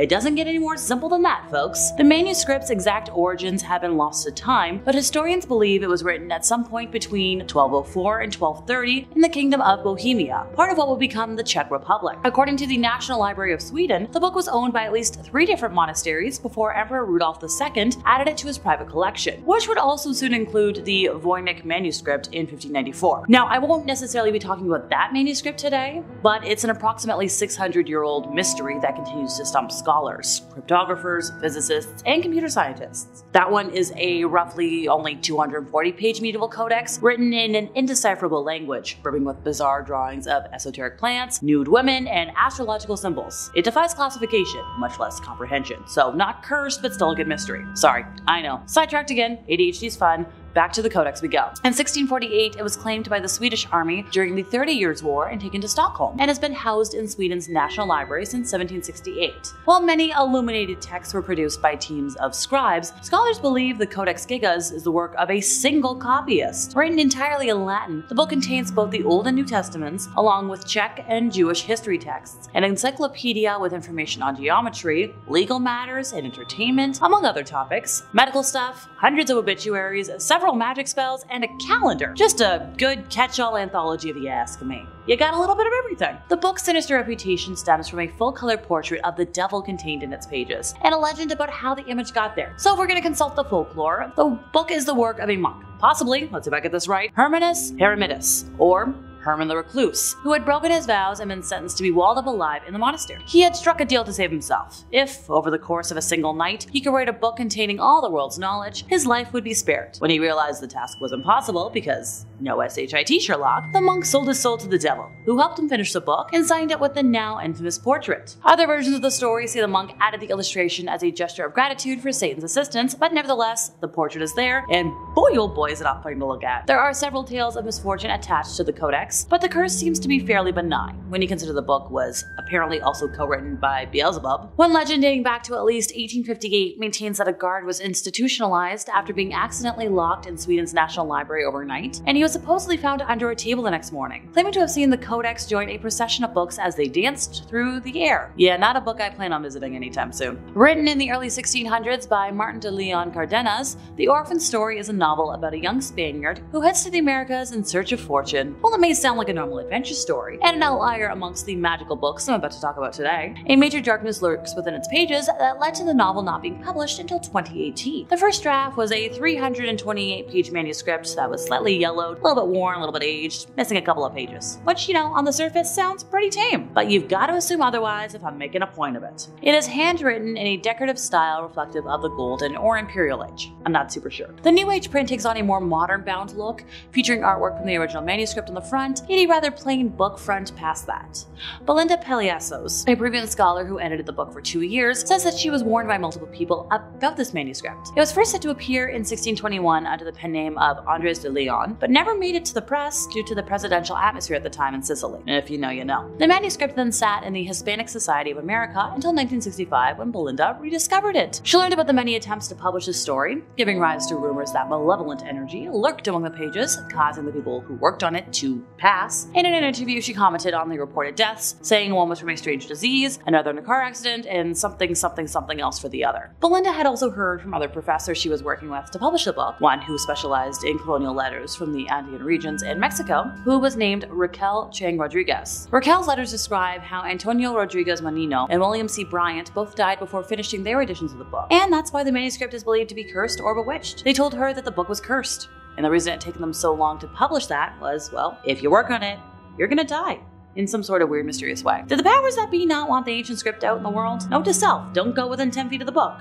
Not worth it. Here's an obvious inclusion into our list today, the Necronomicon. Look, I should get brownie points somewhere for holding out for a year before talking about this gem. Inspired by an H.P. Lovecraft story, this book was published in the 70s by an anonymous author, only identified by the pen name Simon, believed to actually be Peter Levenda, but can't prove that. The first editions, of which I'm not kidding, only 666 copies were released, were bound in leather, but later on it would be published in paperback, becoming an immediate bestseller. In this version's prologue, Simon claims that this is no fictional book, but a translation of a Greek manuscript containing the Necronomicon. The introduction to the book, which is about 80 pages of the 263, is the only part that Simon claims to have written. It relates how Simon and his associates were introduced to a Greek translation of the Necronomicon, I love saying that word, by a mysterious monk. Simon claims that after experimenting with the text, they verified that the work is a genuine collection of magical rituals that predates most known religions, and warns that anyone attempting to use this might unleash dangerous forces. In addition to an introduction, the book uses a frame story titled The Testimony of the Mad Arab. The testimony is in two parts forming a prologue and an epilogue to the core. The author describes himself as, you guessed it, Mad Arab. I'll just call it Mad. The prologue explains how Mad first came to discover the dark secrets that he's recording, accidentally witnessing an arcane ritual performed by a cult that worships Tiamat, in which both the demons Cthulhu and Humawa are conjured. In the epilogue, Mad is haunted by premonitions of his gruesome death. He realizes that the horrors of the Necronomicon are enraged and seek revenge upon him for revealing their existence to the world. He is unable to sign his work and thus remains nameless. This version mixes pseudo-Sumerian mythology with Lovecraft's universe, and it includes rituals that supposedly allow the reader to summon the gods and demons of these myths. It has also been linked to the Satanic Church, as it kind of alludes to Aleister Crowley's teachings, and if you know anything about that name, you'll understand why that's a name to be worried about being associated with anything. Ever heard of Tomino's Hell? Rather than a full book, bear with me here, it's a cursed poem included in Sakin, a poem compilation dating back to 1919 by a Japanese poet and songwriter. It tells the journey of a Tomino a young boy who has been sent to hell after he committed an unforgivable sin. The poem later served as an inspiration for a film called Pastoral to Die in the Country. The filmmaker died nine years later, and well, the poem was blamed for it. Since then, it has become an instant urban legend, suggesting that anybody who reads the poem will either die in a couple of days or, eh, be haunted by Tomino's spirit. Six one way, half a dozen the other, right? And finally for today, the Book of Soyga is an occult text that dates back to at least the 1500s. We only know about it because it was once owned by John Dee, a famous 16th century polymath whose fields of study and expertise included mathematics, physics, chemistry, and astronomy. Dee was also an occultist who was particularly interested in communicating with angels. This book must have been irresistible to him. Besides magical spells and writings about demonology and astrology, the text includes the names and genealogies of angels. Look, it's a nice exchange from the usual books of demons I hear about. Let me have this one. According to Benjamin Woolley's Dee biography, The Queen's Conjurer, Dee believed the book contained an ancient, even divine message written in the language originally spoken to Adam. In other words, the true unspoiled word of God. I know a lot of people who would love to see that. It also includes 36 cryptic tables that remained undeciphered for centuries. Dee attempted to crack their code with the help of Edward Kelly, a crystal gazer who convinced Dee he could channel the voices of angels. Kelly sometimes spelled his name by K-E-L-L-Y instead of being K-E-L-L-E-Y, or went by Edward Talbot. Having aliases was probably helpful to the supposed medium, who had reportedly been convicted of counterfeiting and might have had his ears cut off as punishment. According to Sky History, Dee was so eager to talk to angels that when Kelly told him the angels wanted the two men to swap wives for an evening as payment for celestial communication, Dee was like, Heck yes. Nine months later, Theodore was born. Yeah, that's something you don't hear about every day. Using Kelly as a go-between, Dee dialed up the Archangel Uriel and asked him if the Book of Soyga was a real deal. Uriel, speaking through Kelly, assured him that it was, but told him that only the Archangel Michael was authorized to translate the tables, but he wasn't available, a busy schedule or something. This exchange might be the source of the Book of Soyga's reputation as a cursed book, or as it is sometimes known, the book that kills. At one point, Dee mentioned to Uriel that he'd been told he'd die within two and a half years if he ever read the encoded text. Uriel assured Dee that he'd live for more than 100 years. Dee died in 1608 at the age of 81. The book changed hands a couple of times before vanishing from historical record. Fast forward 300 years, summer of 1994, Deborah Harkness had just finished her doctoral dissertation and was browsing through the catalog at Oxford's Bodleian Library when she found a reference to the text in question. She had the book brought up and soon found herself staring at the holy grail of Dee's scholarship. The experience inspired her first novel, The Discovery of Witches, which kicked off a best-selling trilogy and has since been adapted for television, which love see it. In 1998, mathematician Jim Reeds cracked the code of its mysterious tables. Reeds discovered a pattern involving the frequency and position of certain letters in relation to the other letters, or in his words, a letter is obtained by counting a certain number of letters after the letter immediately above it in the table. Make of that what you will. Reeds came up with a set of mathematical formulae that allowed him to decipher the tables, each of which turned out to be based on a six-letter code word. But we still don't know the meaning of those code words or what messages the tables were meant to communicate, or if there even is one. Maybe someday. Coming at number 5, we've got the Grand Grimoire. Well, with a name like that, you'd better hope it's imbued with some terrible power, otherwise, what's the point? We discussed a grimoire in our last video that was more directed towards witches and other followers of Wicca. If you're part of that group, it's safe to read, otherwise you'd better watch out. This one is just straight up evil according to some. And when a book is this jam packed with horrid, abominable information, people tend to take notice. It's been referred to as the Gospel of Satan, which is a fun genre to imagine. However, I would hazard a guess that most modern Satanists want nothing to do with it as they tend to be more peace loving and accepting. Back in the 16th century, a man claimed to be possessed by the devil. Whether this was Satan proper or one of many hideous demons inhabiting the fires of hell, I guess we may never know. Lots of demons who inhabit the bodies of the living like to pretend they're something that they're not, so I wouldn't be surprised if this was inspired by a different being than Satan himself. However, that doesn't make it any less scary. Some say that this is the deadliest book going with lots of stories to back it up. Those who read it are privy to some incredibly dark secrets, from doom bringing incantations to demon summoning guides. You don't just get these lessons for free though. All this eldritch knowledge comes at a price. By simply opening the book and reading from its pages, you're essentially offering up your soul to whatever dark forces inhabit it. And the longer you stick around reading away, the more likely it is that something will take what is most precious to you. Usually reading plenty is good for you, but in this case you're playing with fire. The Grand Grimoire is rumored to be so dangerous that people have locked it away in the depths of the Vatican, protected by all sorts of holy implements. Others say that the real Grimoire is still out there somewhere, circulating between occultists and evil spirits. This legend has staying power, and many have taken the idea of such a book and added it to other stories, from movies to video games to urban legends.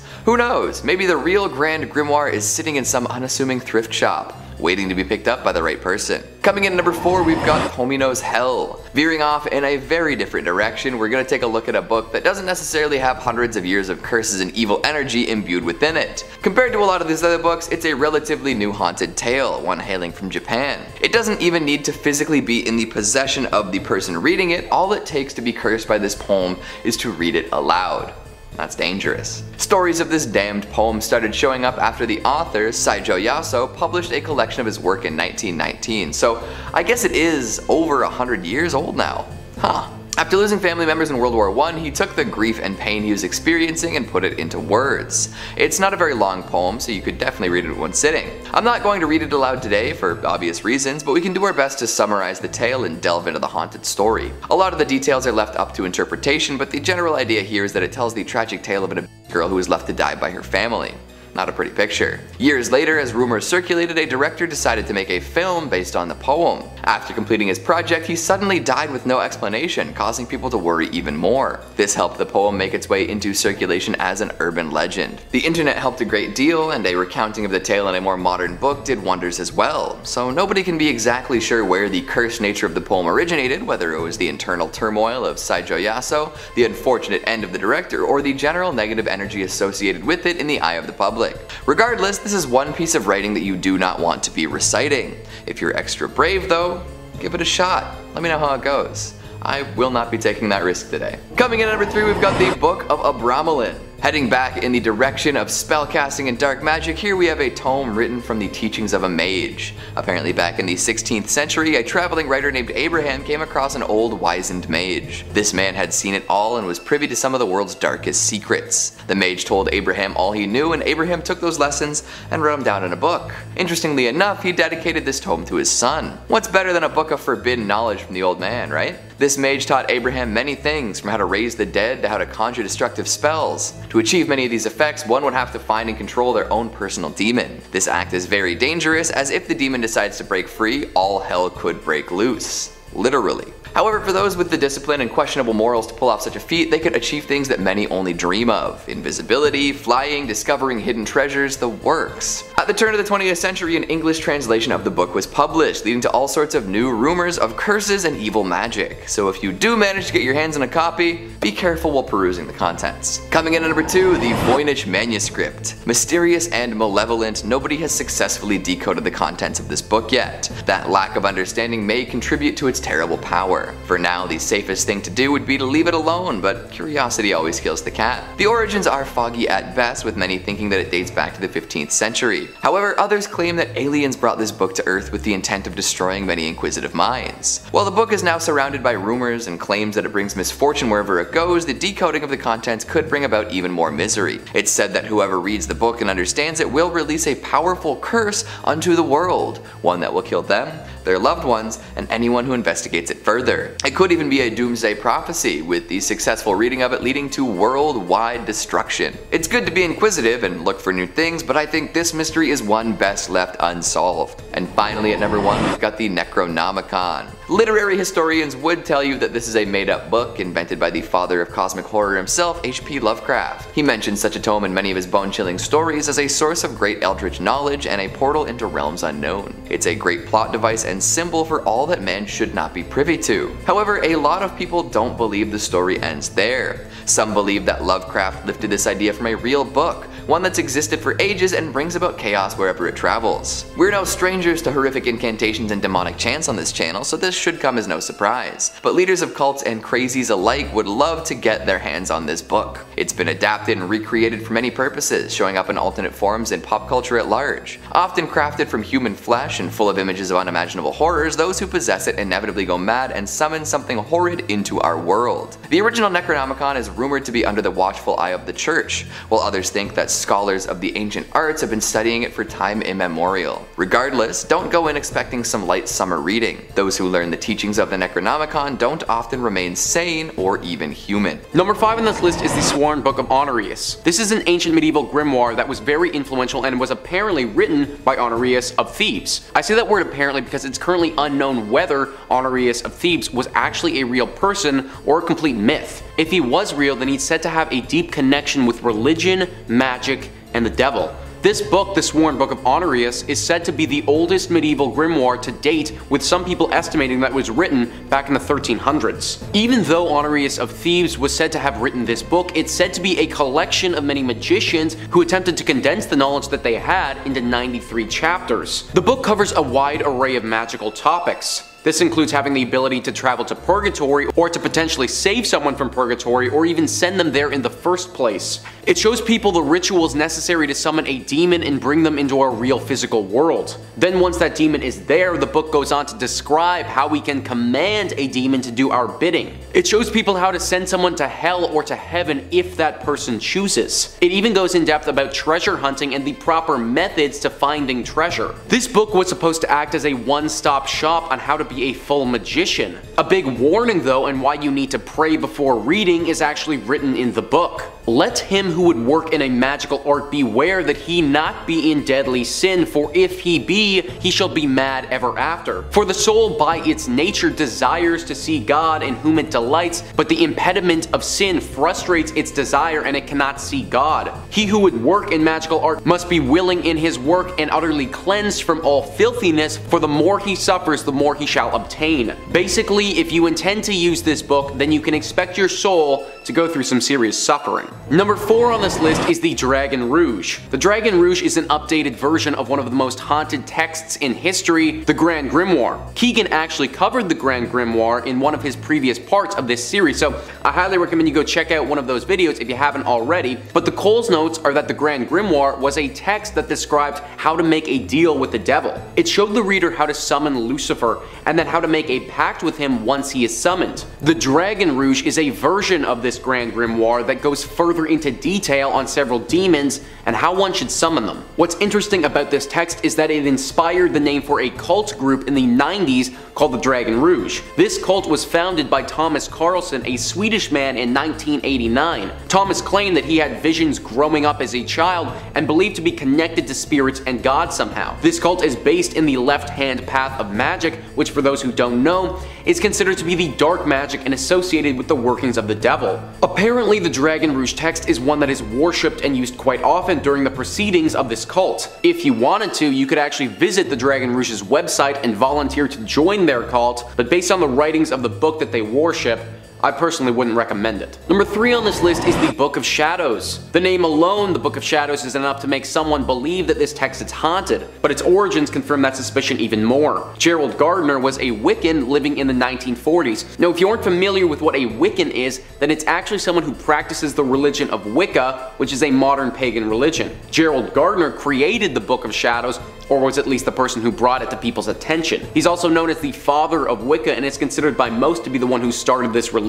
He may not have actually been the one to have written the book though because he says that he received this ancient text from a secret coven of witches. Owen Davies, an expert on haunted books, says that this book was one of the last of a line of worshippers of an ancient fertility religion, which he and his followers believed had survived centuries of persecution by Christian authorities. This obviously made this text extremely valuable to Gerald, and he used it as a means to gain more of a following for his religion. Inside this book are magical rituals, spells, enchantments, and a variety of instructions for how to perform other sacred summonings. This book is said to be extremely dark in nature and certainly something that you would want to pray before reading. Gerald apparently used many of these spells and rituals through his life as he praised witchcraft. Others who have read this book have reported feeling extremely cold and getting the sensation of being watched. Any book that you apparently receive from a coven of witches has spells on how to worship them, and it's called the Book of Shadows. It certainly can't be any good. Number two on this list is the Great Omar. The Great Omar is one of the prettiest and ornate books that you will ever see in your life. Back in the day, book binding, the process of assembling a book and putting it together,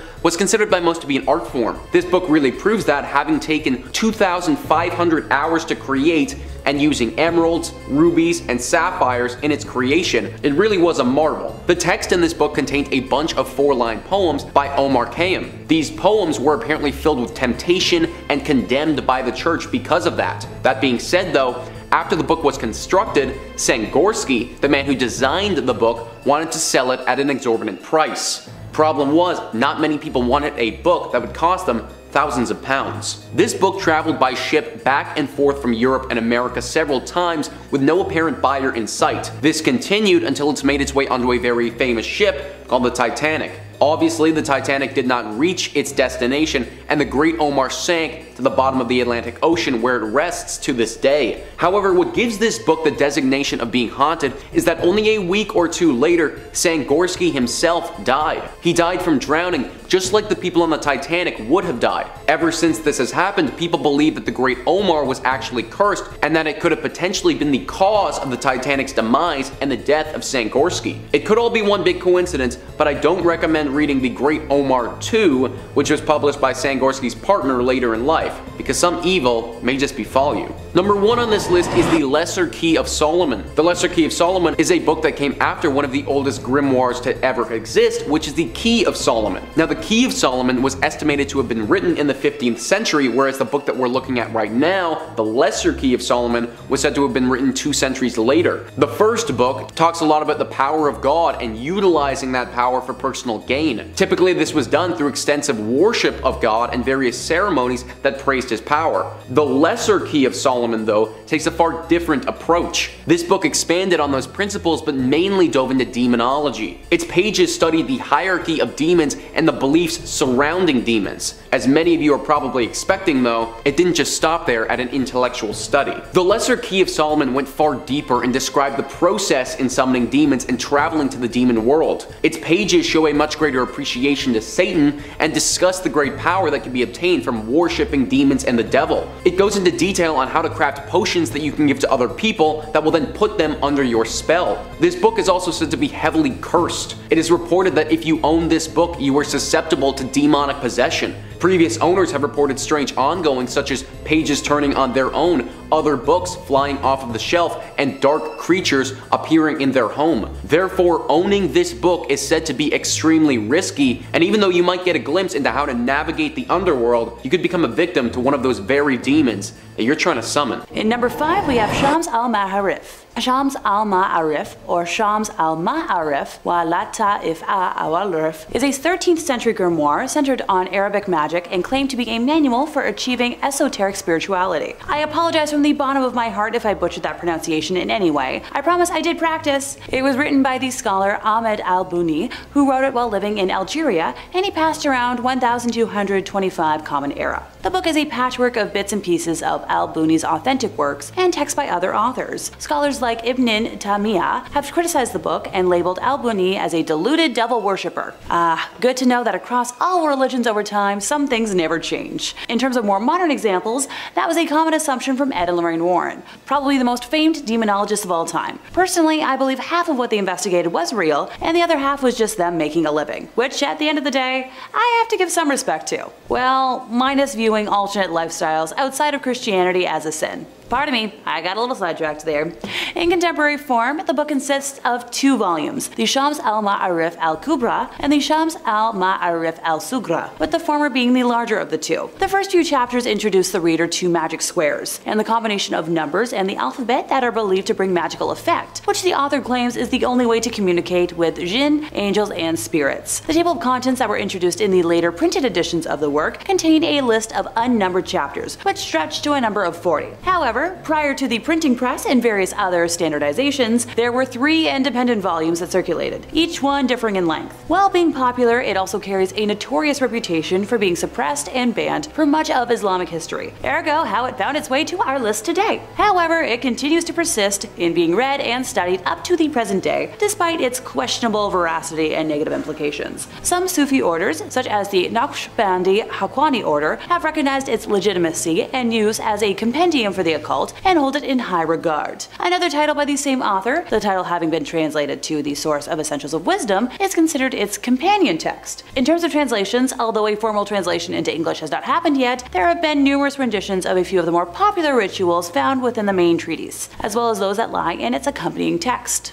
In number 4, we have the Grand Grimoire. It's a black magic grimoire, and for reference, a grimoire is a textbook of magic that typically, you know, includes instructions on how to create magical objects like talismans and amulets, how to perform magical spells, charms, and divination, and how to summon or invoke supernatural entities such as angels, spirits, deities, and demons. In many cases, the books themselves are believed to be imbued with magical powers, although in many cultures, other sacred texts that are not grimoires, such as the Bible, have been believed to have supernatural properties intrinsically. The only contents found in a grimoire would be information on spells, rituals, the preparation of magical tools, and lists of ingredients and their magical correspondences. In this manner, while all books on magic could be thought of as grimoires, not all magical books should be thought of as grimoires. Different editions date the specific one back to 1521, 1522, or 1421, but it was probably written during the early 19th century. Some experts suggest that 1702 is when the first edition may have been created, and a Bibliothèque Bleue version, similar to a chapter book, of the text may have been published in 1750. The introductory chapter was authored by Antonio Venitiana del Rabina, who gathered his information from the original writings of King Solomon. Much of the material of this grimoire derives from the Key of Solomon and Lesser Key of Solomon, which are grimoires attributed to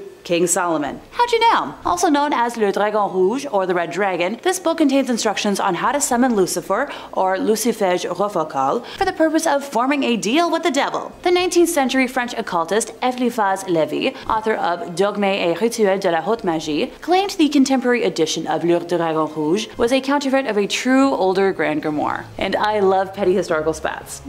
the overall work is divided into two books. The first book contains instructions for summoning a demon and the construction of tools with which to force a demon to do one's bidding. The second book is divided into, you know, two further parts, the Sanctum Regnum and Secrets, de l'Art Magique du Grand Grimoire. The Sanctum Regnum contains instructions for making a pact with the demon, allowing one to command the spirit without the tools required by book 1, but at greater risk. Secrets contain simple spells and rituals one can employ after having performed the ritual of the first book. Some editions contain a short text between these two parts, known as Le Secret Magique ou Le Grand Art de pouvoir parler aux morts, or in English, the magic secret or the grand art of being able to, you know, speak with the dead, which deals with necromancy. The book describes several demons as well as the rituals to summon them in order to make a pact with them. It also details several spells for winning a lottery, talking to spirits, being loved by a girl, making oneself invisible, and more. This book mentions three greater demons, which are similarly prioritized in the Grimorium Verum. Sidebar, in the English translation of the work, the demons are referenced by the more generic term of spirits, which is a term I know some modern Satanists prefer. The demons that are mentioned are the Emperor Lucifer, Prince Beelzebub, and the Grand Duke Astaroth. Now this work also makes mention of six lesser demons, and of course I'll mention them all. Lucifuge Rofocale, Prime Minister, Satanachia, Commander-in-Chief, Agaliarept, Commandant, Fleurety, Lieutenant General,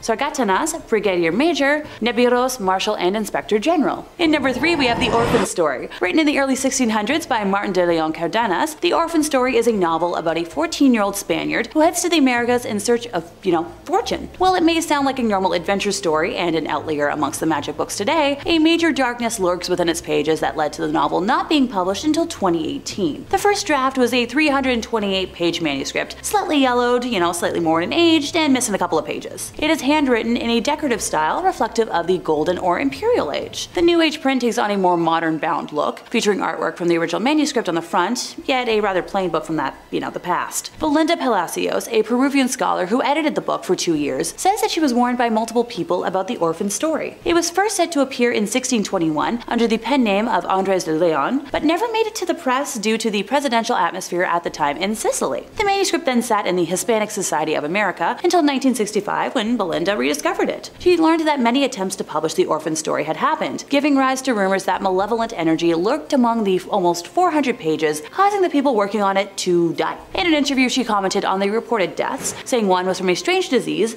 another in a car accident, and yet another of something else. Belinda had also heard from other professors she was working with to publish the book, one specialized in colonial letters from the Andean regions in Mexico, who was named Raquel Chang Rodriguez. So her, those letters described how Antonio Rodriguez Moñino and William C. Bryant both died before finishing their editions of the book, and is why the manuscript is believed to be cursed or bewitched. They told her that the book was cursed, and the reason it had taken so long to publish was that anyone who worked on it would die in mysterious ways. Did the powers that be not want the ancient script out in the world? Note to self, don't go within 10 feet of the book. Not worth it. In second place, we have the book of Abramelin the Mage. Most folks, you know, today would be happy with a gift card or dinner for their birthday, but Abramelin the Mage decided to give his son a book full of mythical curses. It's definitely a unique gift. So this book tells the story of an Egyptian mage named Abraham, or Abramelin, who taught a system of magic to Abraham of Worms, a Jew in Worms, Germany. The system of magic from this book regained popularity in the 19th and 20th centuries, partly due to Samuel Liddell MacGregor Mather's translation, which dubbed it the Book of Sacred Magic of Abraham the Mage. Ever since it was translated to English, this 15th century novel has had a reputation for being cursed. Now there are several theories why, but most believe it has to do with the mage's belief that everybody has their own unique personal demon.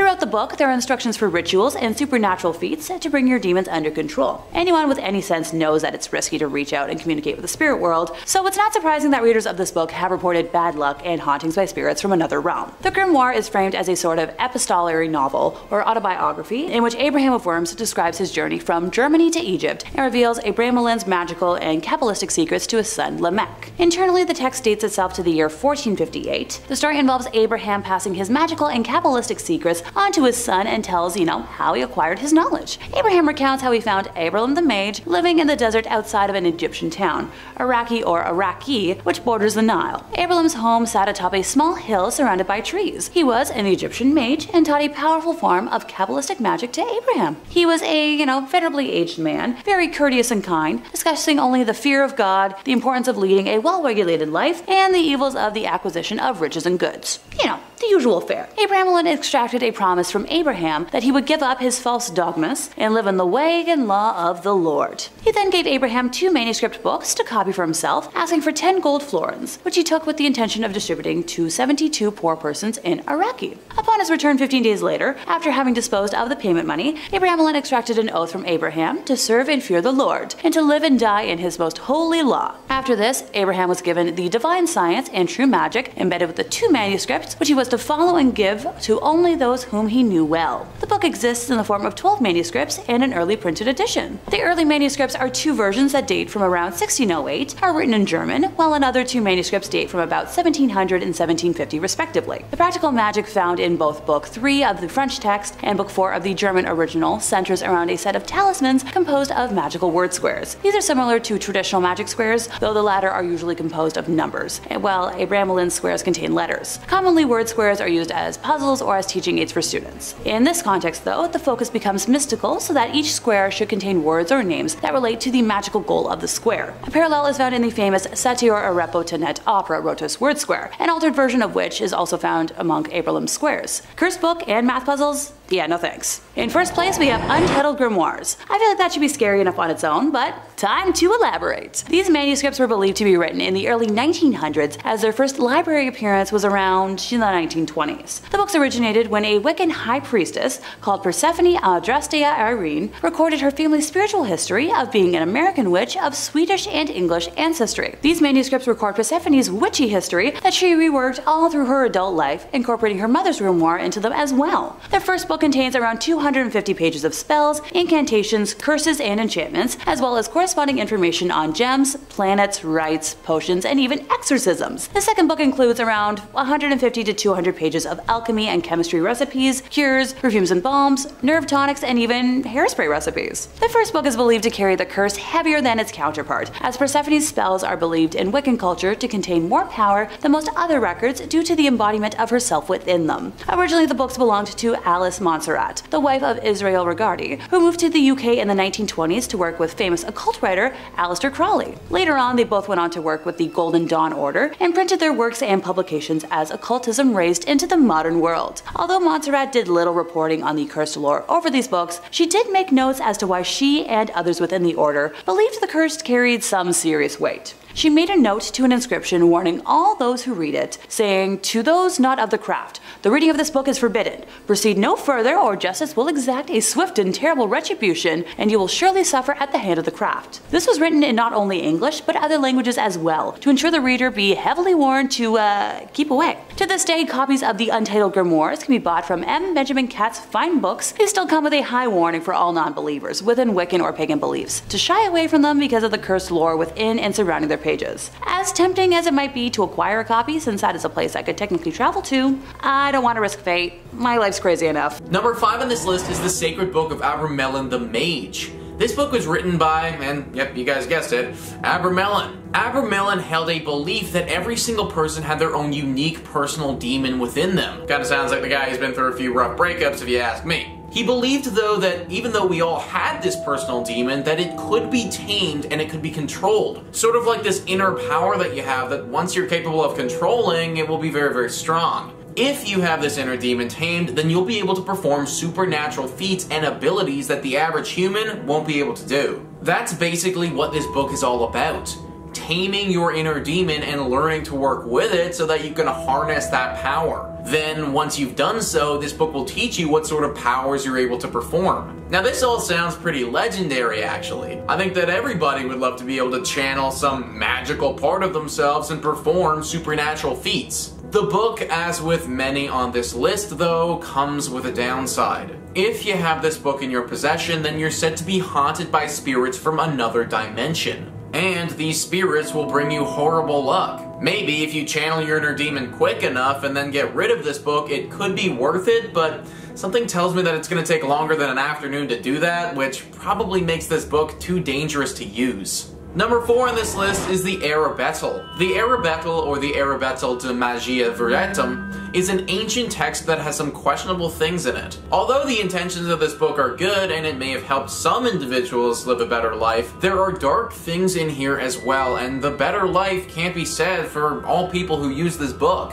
Ancient Origins writes, the Arabetel is a Renaissance period grimoire and one of the most influential works of its kind. Unlike some other occult manuscripts that contain dark magic and malicious spells, the Arabetel contains spiritual advice and guidance on how to live an honest and honorable life. The Arabetel is said to have been written in 1575 AD.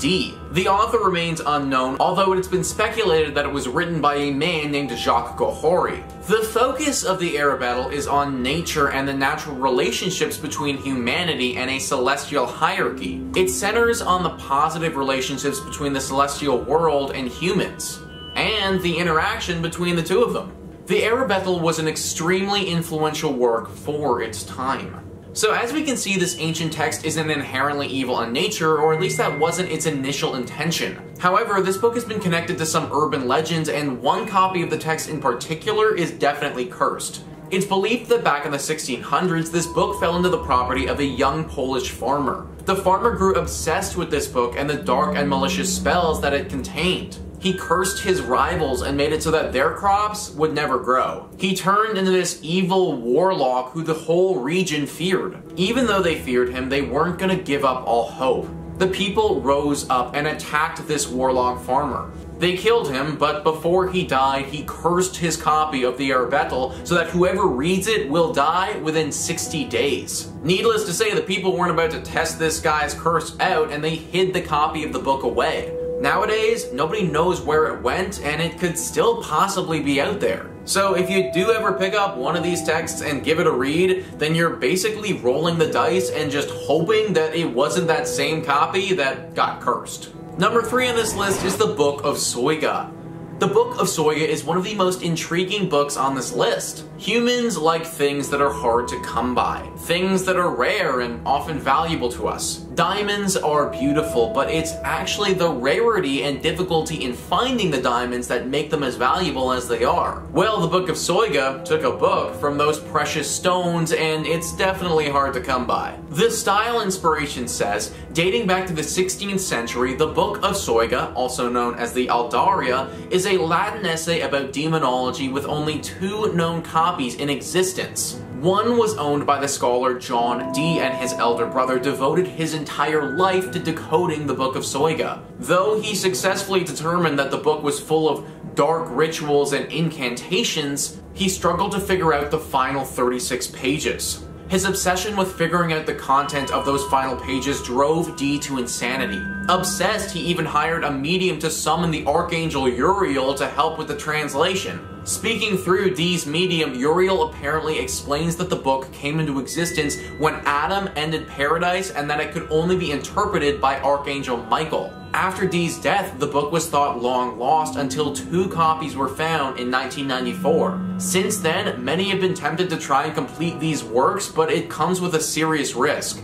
According to legend, anyone who successfully deciphers those final pages is destined to die in under three years. So dying in three years obviously isn't the best, but the good part about this is because it's so rare, it's pretty unlikely to stumble on this book and give it a read. This is like a legendary Pokemon of cursed books though, so if you do ever come across it, don't read it, but definitely scoop it up and put that thing on eBay.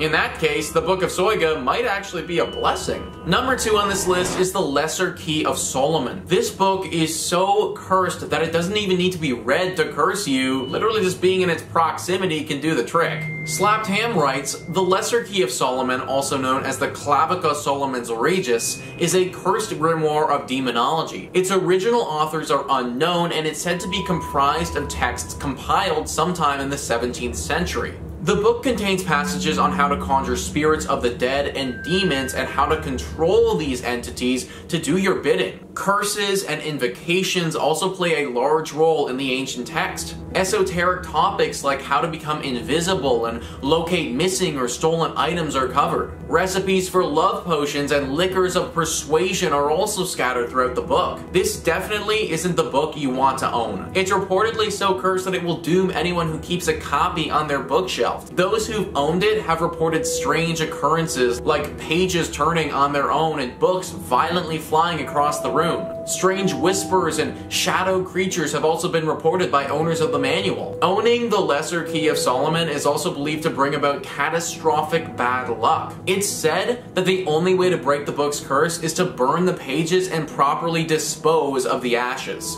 Finally, someone making some sense. How many times have I gone on this channel and talked about how we just need to start burning things? Cursed books, cursed houses, cursed objects. Screw all of it, let's just burn it. At the end of the day, this stuff is really cool, but I'm not out here trying to have my life ruined by some weird book. Burn it hot and let's be done with it. And finally, number one on this list is the Codex Gigas. Codex Gigas is one of the closest things that we have to a Bible for the devil and anything that carries a weight to it like that needs to be on this list. The style inspiration says, at 92 centimeters, the Codex Gigas is the largest extant medieval illuminated manuscript in the world. Just like everything evil, it comes with two names, and the Codex Gigas' second name is more than a little foreboding. The Devil's Bible. The history of the book is heavy to say the least.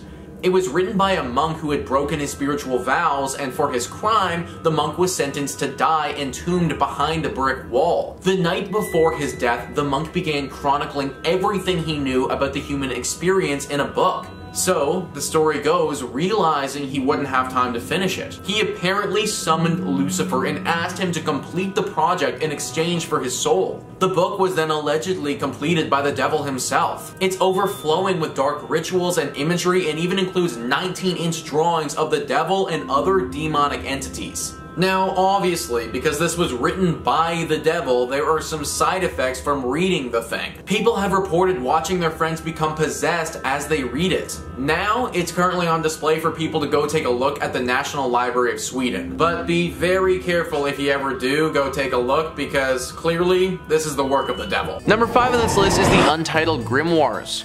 The Untitled Grimoires were written by a witch and really not the type of book that you want to be reading before bedtime or actually reading it all for that matter. Digital Trends says, The Untitled Grimoires is a set of two handwritten, spiral-bound spellbooks sold by an online retailer for nearly $14,000 back in 2013. The books were handwritten in the 1960s by Persephone Adrasta Iorine, a high priestess of Wicca who supposedly led her own coven. All 250 pages are filled with incantations, spells, enchantments, and details on how to summon spirits and demons. However, there was a serious catch. The seller warned buyers that any non-believers who messed with the books would bring a deadly curse upon themselves, while Persephone herself explicitly tells readers on the first page that proceeding with the book would have serious consequences. She wrote, To those not of the craft, the reading of this book is forbidden. Proceed no further, or justice will exact a swift and terrible retribution, and you will surely suffer at the hand of the craft. So, literally, anyone who can't perform dark magic already can't read this book and learn how to perform dark magic without dark magic coming and cursing them. Seems like a kind of a stupid way to get people to join your club, but I guess I'm not familiar with the ongoings of witches. Either way, there is no doubt that this book is deeply cursed. I can't imagine spending 14 grand on this thing unless you literally were already familiar with dark magic yourself, and I guess then you could make use of the book, but that's not me. People who have tried to read this thing have had some horrible tragedies befall them, so I highly do not recommend it. Number 4 on this list is Pseudomarchia Daemona. Wow, okay, that was an absolute freaking mouthful, so I'm not to be calling it that anymore because it's also called the False Hierarchy of Demons, and I'm to be saying that from here on out. Ancient Origins says this is a great compendium from the 16th century dictating the names of 69 demons. The list initially appeared as an appendix to a book about demonology and witchcraft by Johann Weyer. The son of a civic service merchant, Johann Weyer was a Dutch doctor and occult practitioner born in the Netherlands in 1515. Well versed in Latin from a young age, Weyer quickly became a student of Heinrich Cornelius Agrippa, a famous magician, theologian, and occultist in Antwerp. It appears that Weyer's fascination with magic began while working under Agrippa, but later escalated after he became a doctor in his own right. He was summoned to a particular fortune teller's court case and thereby asked by the judge for advice on the topic. The court case started his interest in researching the witchcraft way of life, culminating with his decision to attempt to defend those who were accused of practicing. 27 years after this case, when Weyer was 62 years old, he published The False Hierarchy of Demons. This book, as with most that study demons, also talks about how to summon and control these demons. This book also focuses a lot on witchcraft too, something that became a deep obsession for Weyer. Definitely a book that you should avoid and one that could hold some serious curses. Number 3 on this list is the Ars Notoria. The Ars Notoria is an ancient text which grants the person who studies it a perfect memory. Something that sounds great from the outside, but it isn't as cool as it's cracked up to be. Ancient Origins writes, as part of a larger collection known as the Lesser Keys of Solomon, the Ars Notoria is a book that is said to allow followers a mastery of academia, giving them greater eloquence, a perfect memory, and wisdom. The Ars Notoria is one of five books within the Lesser Keys of Solomon, an anonymous text that was compiled from other works in the 17th century and focuses on demonology. The Ars Notoria is the oldest portion of the Lesser of the Keys grimoire dating back to the 13th century. However, the text contained within are a collection of orations, prayers, and magical words which date back to well before the 1200s. The prayers are in several languages including Hebrew, Greek, and Latin. It was not a book of spells or potions, but a book of prayers and orations that are said to strengthen and focus one's mental powers by beseeching God for intellectual gifts. Among these intellectual gifts is the concept of a perfect memory. Those, those who practice liberal arts such as arithmetic, geometry, and philosophy are promised a mastery of their subject if they devote themselves to the Ars Notoria. Within, it describes a daily process of visualization, contemplation, and orations intended to enhance the practitioner's focus and memory. So here's the thing guys, that all sounds well and good and, and very useful, but I don't think that people understand what a perfect memory actually means. It means that there is literally nothing at any given point that you will ever forget. The license plate of that one car that cut you off. That one passing comment that the cashier said about the milk that you bought. The strange handshake that you had with your friend the other day. Literally nothing at all. You're not going to forget anything. Think about how much noise is going to be going on in your head at one given time if you can't forget anything. This is the curse of this book, and it's why a lot of people who have studied it in depth have lost their minds. If you're gonna remember everything in the world, then there also needs to be a way to turn it off every now and again to finally get some silence in your head. Sometimes forgetting things really is the best thing for us. Number two on this list is the Picatrix. The Picatrix is definitely a book that should be avoided and it's mainly for how freaking grotesque it is. It was initially written in Arabic back in the 11th century and it's a book that's centered around astrology and magic. It teaches the individuals who study it how to concoct crazy spells and make magical potions. What has thrust it into the limelight, as I mentioned earlier, is how freaking gross it is. The magical potions and the spells in here are just disgusting and they're honestly plain wrong various body parts, various fluid from said body parts, and other weird stuff is regularly called upon in this text. The following is a literal passage from the book on how to make a spell. Take 4 ounces of the blood of a black dog, 2 ounces each of pig's blood and brains, and 1 ounce of donkey brains. Mix all of this together until well blended. When you give this medicine to someone in food or drink, he will hate you. And like, yeah, duh, if anyone blended up a bunch of brains and then gave it to me to drink, then I would kind of hate them as well. Many people think that this book is cursed based on the horrible spells in it, but it honestly might not be and could just be super weird. Either way, probably best to be avoided. And number one on this list is the Voynich manuscript. The Voynich manuscript is an illustrated codex that is handwritten in a writing system or language that no one understands. By using some advanced carbon dating, we can determine that it was made back in the early 15th century. We're pretty sure that based on the style of writing, artwork, and language that's in this book, it was most likely made in Italy.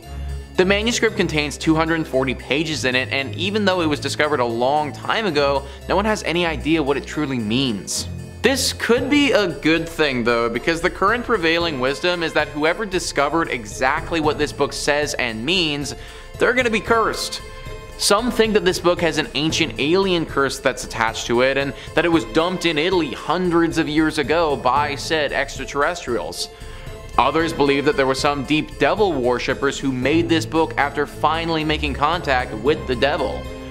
Either way, so far we have no idea what it says, and if things maintain how they've been, we probably won't ever know. Which for a book like the Voynich manuscript, might actually be for the best. Kicking off at number 5, the Munich Manual of Demonic Magic. A text supposedly written sometime in the 15th century, the Munich Manual of Demonic Magic is a grimoire manuscript that describes the lost ancient rites of demonic knowledge. It is claimed that this text has been largely ignored by scholars throughout history due to its malevolent nature. The text, which is solely composed in Latin, is pretty much a handbook to demonology and much more worryingly appears to be a handy guide to necromancy. Although it was my favourite class in Diablo 2, Fishymancer, if you know, you know. The text was later picked up and an edited manuscript was published in 1998 by Richard Kieckhefer, an American medievalist and religious historian, where it was renamed Forbidden Rites and Necromancer's Manual of the 15th Century. Stranger still though, a vast portion of this book has yet to be fully translated, so Who knows what the hell is lurking deep within its message. Coming in at number 4, Picatrix, which is a word that I just love saying. Picatrix.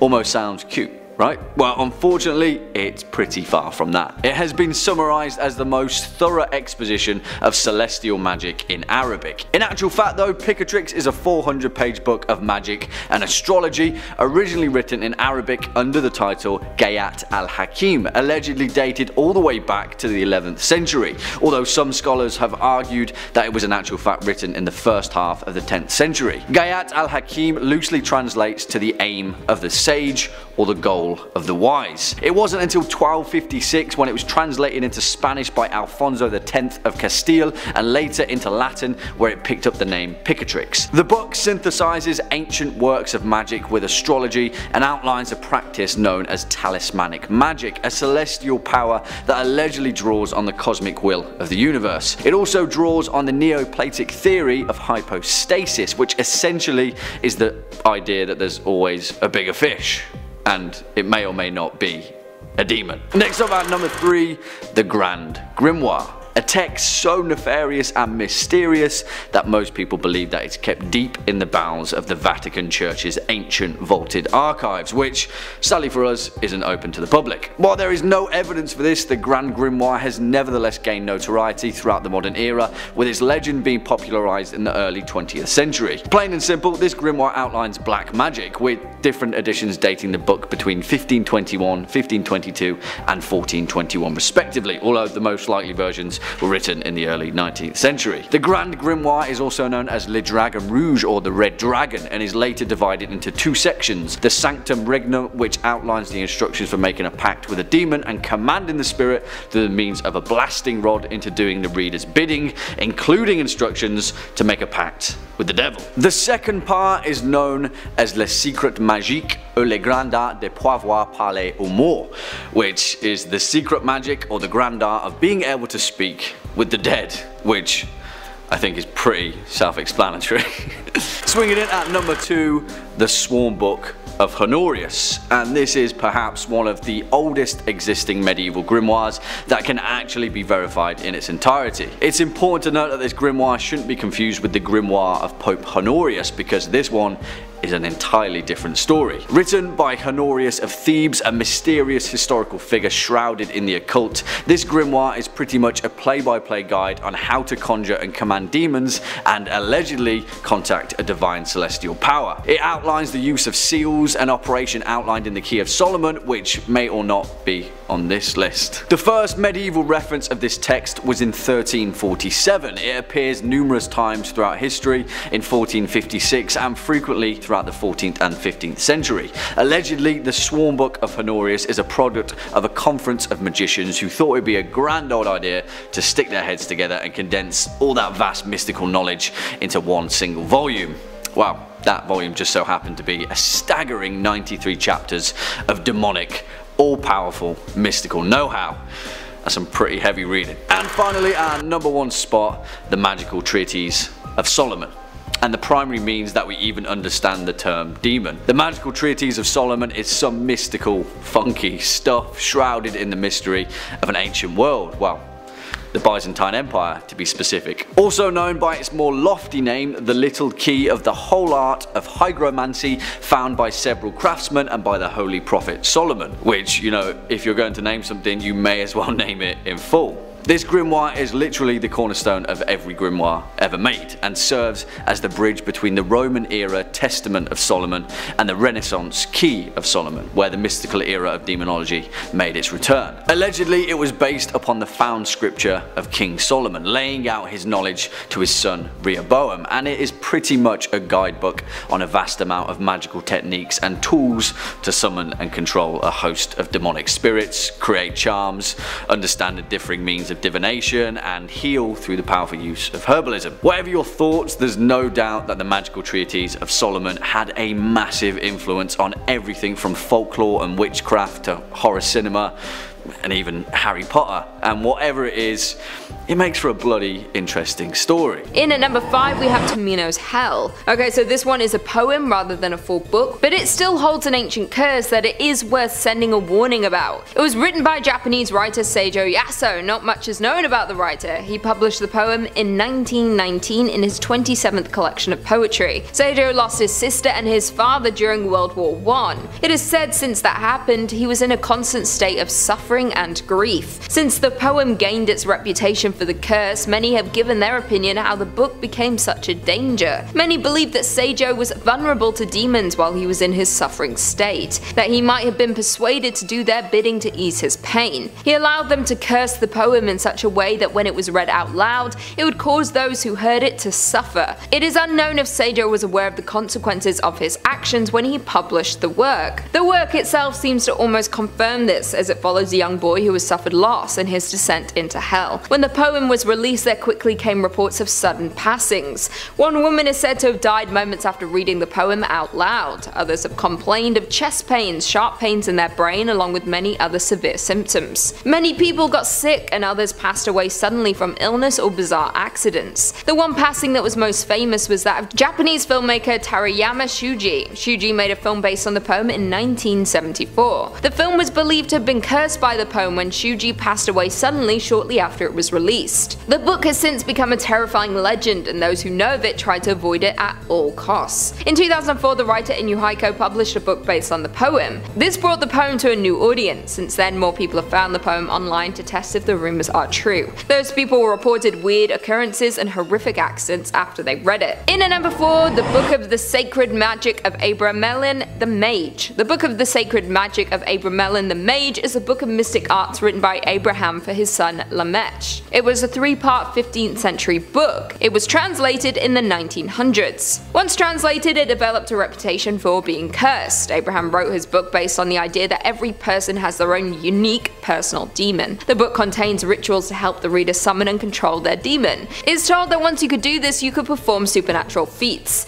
It is said that if you own this book, you will also get the attached curse. Anyone with a copy in their possession will be haunted by spirits from another realm. People unlucky enough to own the book have had bad luck follow them and some even met an early demise. It is said that the incantations that give you the ability to control your demon releases the curse and opens you up to demons from the other side. Fun stuff. In at number 3 we have The Great Omar. Some call The Great Omar the most cursed book of all time. Unlike other books in this list that might unleash a curse on the person or people who open it, the curse is often contained. This book however has been linked to many great tragedies throughout history. People were captured by the beauty of this book. The beauty of the binding hid the curse from the world and enchanted buyers. The book was embellished with over 1000 jewels, with 5000 leathers on lays and 100 square feet of gold leaf. It took the team of craftsmen over two and a half years to make. Only one was ever made due to the grandeur of the book. When the book was finally completed, it was sold at auction for £1,000 and shipped to New York for display. The book went down on the Titanic and was destroyed. Some say it was due to the book being on board that the ship went down when further misfortunes followed anyone involved. The creator of the book drowned while trying to rescue a woman a few weeks later. His partner decided to recreate the book. Again, this was a long and painful task,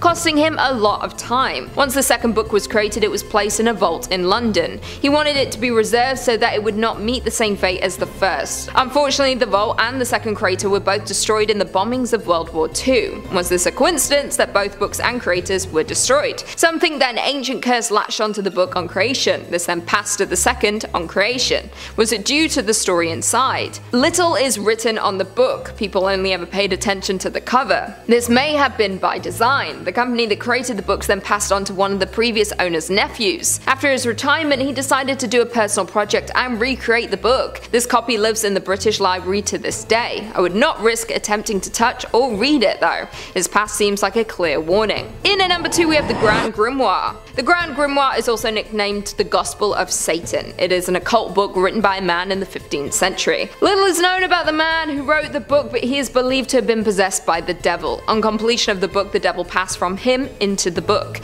The book is known to be cursed by the devil. You're advised to not attempt to read this book. A grimoire is a book of spells. The particular spells in the book are dark and twisted. Often some form of sacrifice is needed to complete any of the spells. You would need to be willing to perform some truly evil acts if you wanted to be successful with these spells. A lot of people look for this book due to its promise to be able to bring loved ones back to life or summon demons. Many people who are grieving loved ones who passed too soon try to use this book to bring them back. This is extremely dangerous and not only will it may not work but it might backfire and cause your own demise. This book has such a dark reputation it has been the most feared book since medieval times. Of course it goes without saying that you should avoid this book, really any book that promises it can summon demons as that is usually a big sign that it might be cursed. Catcher in the Rye?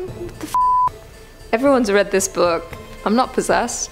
Maybe. And finally, in at number one, we have The Catcher in the Rye. The Catcher in the Rye is one of the most well-known American books of the 20th century. It is often a required reading for most teens during high school. Despite this, the book has a dark past that often gets overlooked. It was written by J.D. Salinger and first published in 1951. The book is considered to perfectly capture the essence of adolescence. Throughout time and the changes in society is still relatable to teenagers' lives today. It reflects the true nature of being an adolescent, the rebellion, survival, and internal struggles of growing up. Follows the story of a young man named Holden Caulfield. He has been kicked out of a number of schools and when the story picks up, he has been kicked out of his latest school. He doesn't want to tell his parents fearing the punishment that might follow. He runs away from home and starts his adventures in New York. At the time of its release, it was seen as controversial for using bad language and adult themes, but the author didn't want to censor the book, he wanted an accurate depiction. None of this is why the book is considered cursed though. The curse comes from the link the book has to murders. The list of crimes linked to the book is longer than you might expect, one of the most famous being the assassination of John Lennon. His killer sat and read the book until the police arrived. He then used the book to write and sign his confession. He later explained that after reading the book he wanted to save Lennon and maintain his innocence forever. This is not the only famous murder connected to the book. Robert Bardo took the life of actress Rebecca Schaeffer, and John Hinckley assassinated Ronald Reagan.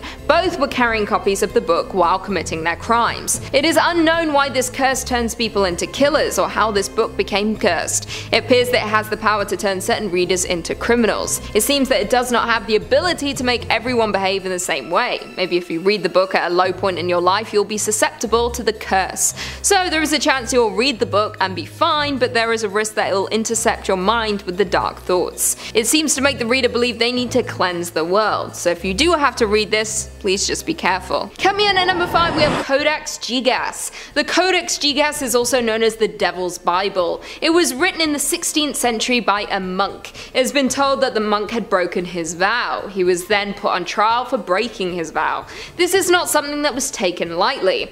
After a short trial, he was found guilty and sentenced to execution. He had a couple of days left. With the little time that he had left, he wanted to write everything he knew about the human experience. He wanted there to be something left of him after he passed on.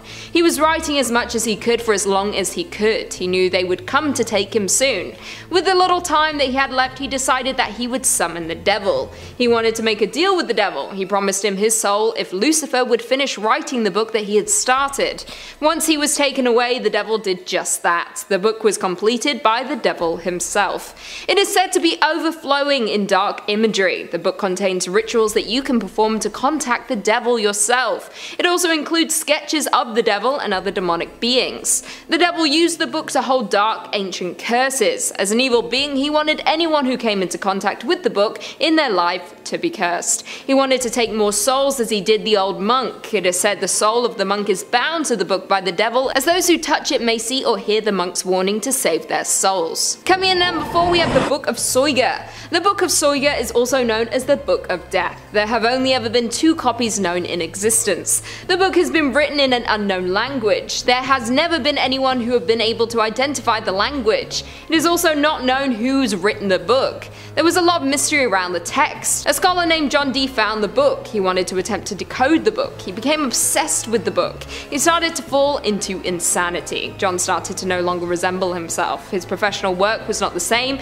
and he was consumed by the obsession of the writing. After his death in 1608, the book was lost. It was not discovered again until 1994. Since the book was resurfaced, many have tried to decode the book. Anyone attempting to decode the book have had to deal with some serious consequences. According to the legend, anyone who does successfully decode the book will pass away within the next three years. It's rumored this may have been what happened to John Dee. Decoding the book might have driven him crazy and the curse took his life. He might have hidden the book so that for all those years it would not hurt anyone else or drive anyone insane. Both copies have now been found. They have been secured and can be found in London. One is kept at the British Library and the other is at the Bodleian Library. They are locked away safe so that no one can attempt to read the horrors contained within the text. Coming in at number 3 we have the Book of Abramelin. The book was formed from 12 manuscripts written by a man named Abraham. He wrote the book to pass on his secrets to his son. He told the story of his journey across the Egyptian desert. During his time in the desert he came across a magical being. The mage taught a powerful form of Kabbalistic magic to Abraham. In return the mage asked for Abraham to live in fear of the Lord and to serve him. He said he must not live his life in search of riches or have more than he needs. He warned him not to use the magic to obtain any of these things. When Abraham returned home he wrote the book to ensure he did not lose the knowledge. He wrote powerful incantations, ways to summon otherworldly beings as well as other powerful spells. His pride started to get the best of him once the book was complete. He decided to only keep this to himself and pass it down to his family. He began to boast of his newfound power. He bragged that he could raise the dead and become invisible at will. Of course no one in the town believed him. He decided he would show them all. He used minor spells to prove his power. Once they believed him others came to see him. They offered him great jewels to bring back their loved ones or bring them good fortune. He fell deeper and deeper into his greed. He had broken his oath to the mage. He began to have bad luck and strange things happening around him. He would see spirits from another world and was being haunted by dark entities. It is believed that as he broke his oath he became cursed. He suddenly passed away in a horrible accident. Since then anyone who owned the book was haunted and plagued by the curse. Abraham's family never used the book and tried to keep away from the rest of the world. Coming in at number 2 we have The King in Yellow. The King in Yellow is a book of short stories. It was written by writer Robert W. Chambers and first published in 1895. The book was named after a play which has the same name and recurs as a motive throughout some of the stories. The first half of the book contains highly esteemed horror stories. It has been described as a classic in the field of supernatural. There are 10 stories included in the book, the first four mention The King in Yellow. The King in Yellow is said to be a forbidden play that drives those who read it into despair and madness. Although these short stories only speak of the forbidden play, it is said that if you were to find the original text you may be driven mad. It was once performed for a mass audience. The cursed play lured the audience or reader in. By the time you get to the second act, the audience or reader have been driven completely insane. This is why the text is thought to have been destroyed and is forbidden to read. If you do think you have found it, then I warn you to not read it or you might just be driven mad yourself. I'm already mad, so I can read it. And finally, in at number one, we have The Sorrows of Young Werther. The Sorrows of Young Werther is a novel written by John Wolfgang von Goethe and published in 1774. Goethe was 24 at the time of writing the book and it took him only five and a half weeks of intense writing to finish. It instantly placed him among the foremost international literary celebrities and was among the best known of his work. The majority of the plot focuses on a young man's extreme response to unrequited love. The book had a big cultural impact. It was given the name Werther Fever.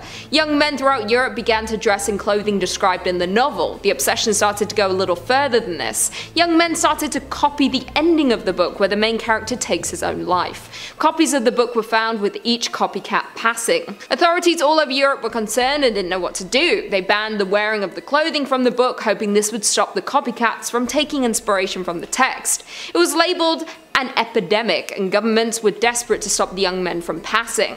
This led to a revision of the book in 1787. They gave the book a new ending, a happy ending in hopes of stopping any further pain. In the new ending, a friend learns of his plans to hurt himself and stops him. The young man then learns how to become a part of society and goes on to live his life. The original copy of the book was banned. It is said if you read it, even today, you will be cursed and driven mad to the point of copying the steps of the young Werther. The new version of the book stopped the epidemic epidemic, and more books were given a happy ending to not cause such a disaster again. In at number 5 we have The Orphan Story. The Orphan Story was published in 2018, however the writing of this novel was started 400 years earlier by Martin de Leon Cardenas. Martin was not just any writer, he was a monk who broke his sacred vow. He wrote the majority of the novel between 1608 and 1615. There is a rumour of a curse surrounding the novel. The reason the book was not published until 2018 was due to everyone involved in the book mysteriously dying. The curse is rumoured to have been attached to the book when the monk broke his sacred vow. He was the first to die before he could finish writing the story. It was Belinda Palacios who rediscovered the manuscript hidden in the archives of the Hispanic Society of America in 1965. She was determined to finish the book and have it published, but was deterred by her colleagues warning her about the curse. The book then went back into the archives. Others attempted to publish the book on several occasions. The publication fell through each time because those involved kept dying suddenly under mysterious circumstances. The deaths were caused by sudden traumatic events, horrific car accidents, sudden and unexplained illnesses. It finally took 400 years for someone to be brave enough to publish the book. Even now, after being published, it is believed the curse is still contained within the story. The difference being now it has been duplicated and sent all over the world, making the curse stronger and having many more victims than it can claim. The origin of the curse contained in the book is unknown, however it is thought to be millions of years old. Formed over the worship of ancient religions when the monk broke his vow, he unknowingly released the curse. It then latched onto the pages of the manuscript taking anyone who dared to be involved with it. In at number 4 we have Untitled Book of Spells. This untitled spellbook was first known by the public in 2013. Two books were listed for sale online. The online seller was selling two mysterious handwritten and spiral bound spellbooks. The books were sold for a crazy $13,865. Once sold, the seller sent a warning to the buyers saying, To those not of the craft, the reading of this book is forbidden. Proceed no further, or justice will exact a swift and terrible retribution, and you will surely suffer at the hand of the craft. The warning means that if you do not study witchcraft and you attempt to study or perform anything within the book, you will be cursed and will suffer. These spells were believed to have been written by high priestess of Wicca named Persephone Adrasta Irene sometime in the early 1960s. It is believed that she ran her own coven, keeping to herself in an area that others avoided. It is believed that spellbooks should always be burned after the witch who wrote them dies. The spells should not be used by anyone if not under the witch's supervision. The two books are believed to be reworkings of the original work by someone in the coven. They did not want the work to be lost so they reworked and created two copies of the spells. This is not something that should ever be done. They each contain vast collections of incantations, curses, spells, and enchantments. There are instructions on how to summon spirits, demons, and otherworldly entities, as well as instructions on exorcism in case something goes wrong during another spell. It is not currently known where the book is or if the buyer is alive or dead. Hopefully they are worthy to study the pieces, otherwise they may have cursed themselves. In at number 3 we have the Lesser Key of Solomon. The Lesser Key of Solomon is another book of spells. It is known as a cursed book of demonology. The author is unknown as is usually the case with cursed books. Some say it is compiled from various texts gathering information from the most powerful spell books. It was first found in the 17th century. Since then the book has been published and can even be found on Amazon. But think before you purchase. The book contains passages on how you could conjure the dead, demons, or lost spirits. Once summoned, it also tells how you can use these spirits for your own bidding. Ancient texts are often rumored to be cursed, the same can be said for this one, with tragedy and bad luck following the book. This book, unlike the other spellbooks, includes unique spells that others don't often mention. For example, it includes how to make yourself invisible or locate missing items. There are recipes for love potions and even liquors of persuasion. It seems there is nothing that you cannot achieve if you bought this book. This may be by design, promise those desperate for success or wanting something out of reach that they can have anything they want, all for a price of a book. You should get lots of sales. But this is definitely not a book that you should want to own. It is apparently so cursed that it will doom anyone who has it on their bookshelf. There have been claims of various hauntings surrounding the books. The pages of the book reportedly turn on their own if the book is left idle. Others noted the book flying across the room. There are also more concerning hauntings. People have heard demonic whisperings around their home after buying the book, while also seeing shadow creatures in the corner of their eyes. The good news is there is a way to break the curse if you've already welcomed it into your home. It has been claimed that the way to dispose of the book is to burn it to ashes. Once you dispose of the ashes, you should be free of the curse, unless of course you use one of the spells wrong and something has backfired. In at number 2 we have the Voynich manuscript. The Voynich manuscript is known to be one of the most mysterious books in the world.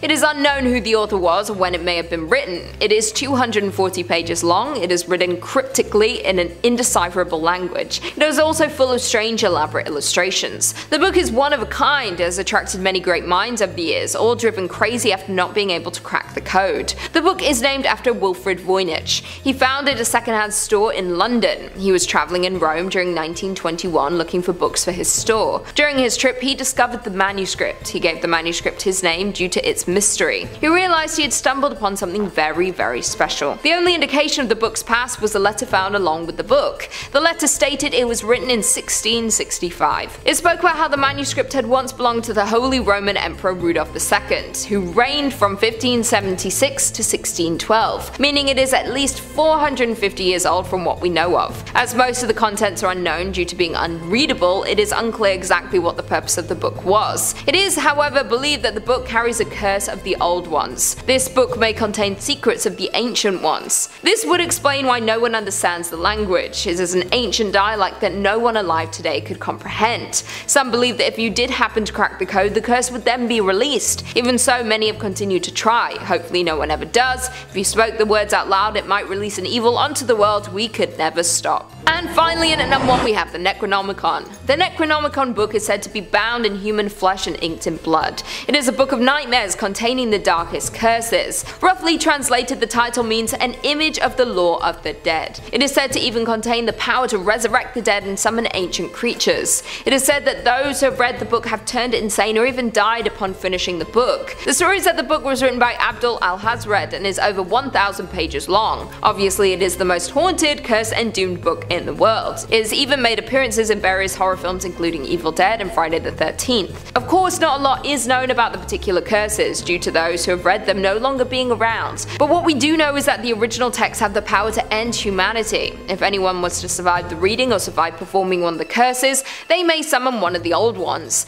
The old ones are the ancient creatures who ran the world before humanity, creatures like Cthulhu, who if awakened would destroy the earth before we could even think about stopping them. People who have been tempted to bring back their past loved ones have turned to the Necronomicon for answers, only to be driven mad the further into the book they read. The book does contain the power to bring back loved ones, but you would have to survive losing your own mind and soul along the way. Most copies of the book were destroyed for obvious reasons, but not all of the contents are lost forever. If you're brave enough to read any of the dark curses inside, there is a copy located in Massachusetts Miskatonic University. Just be careful what you read into, it could be the last thing you ever do. In fifth place, we have the Lesser Key of Solomon, also known as Lemegeton Clavicula Salomonis, or simply Lemegeton. This is probably the book on this list that I'm personally most familiar with. I've definitely referenced it more than once for y'all, since it has some great info on demons and their personalities. For simplicity's sake, I'll just refer to it as the Key today. The Key is an anonymously authored grimoire on demonology that was compiled in the mid 17th century, mostly from materials up to 7 centuries older. It's divided into five books Ars Goetia,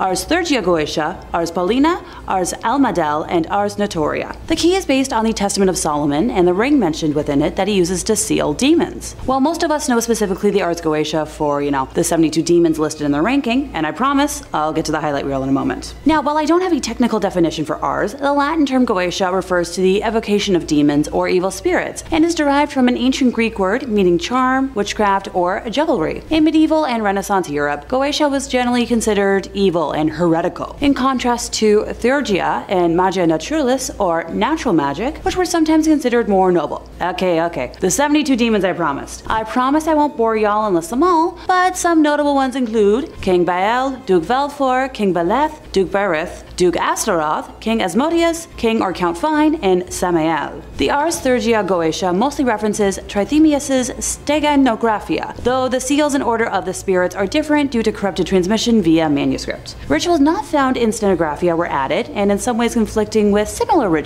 found in the Ars Goetia and Ars Paulina. Most of the spirits summoned are tied to compass points. Four emperors are tied to the cardinal points of Carnesiel in the east, Amenadiel in the west, Demoriel in the north, and Caspiel in the south. And 16 dukes are tied to cardinal points, intercardinal points, and additional directions between those. There are in addition 11 wandering princes, so that a total of 31 spirit leaders each rule between several to a few dozen spirits. The Ars Paulina is derived from Book 3 of Trithemius's Steganographia and from portions of the Heptameron, but delivered by Paul the Apostle. Elements from the magical calendar, astrological seals by Robert Turner's 1656 translation of Paracelsus's Archidoxes of Magic, and the year 1641 indicate that this portion was written in the later half of the 17th century. Traditions of Paul communicating with heavenly powers are almost as old as Christianity itself, as seen in some interpretations of Corinthians and the apocryphal Apocalypse of Paul. Now, the Ars Paulina is divided into two books. The first detailing 24 angels aligned with the 24 hours of the day, while the second detailing the 360 spirits of the degrees of the zodiac. The Ars Almadel instructs the magician on how to create a wax tablet with specific designs intended to contact angels via scrying. And finally, the Ars Notoria contains a series of prayers intended to grant eidetic memory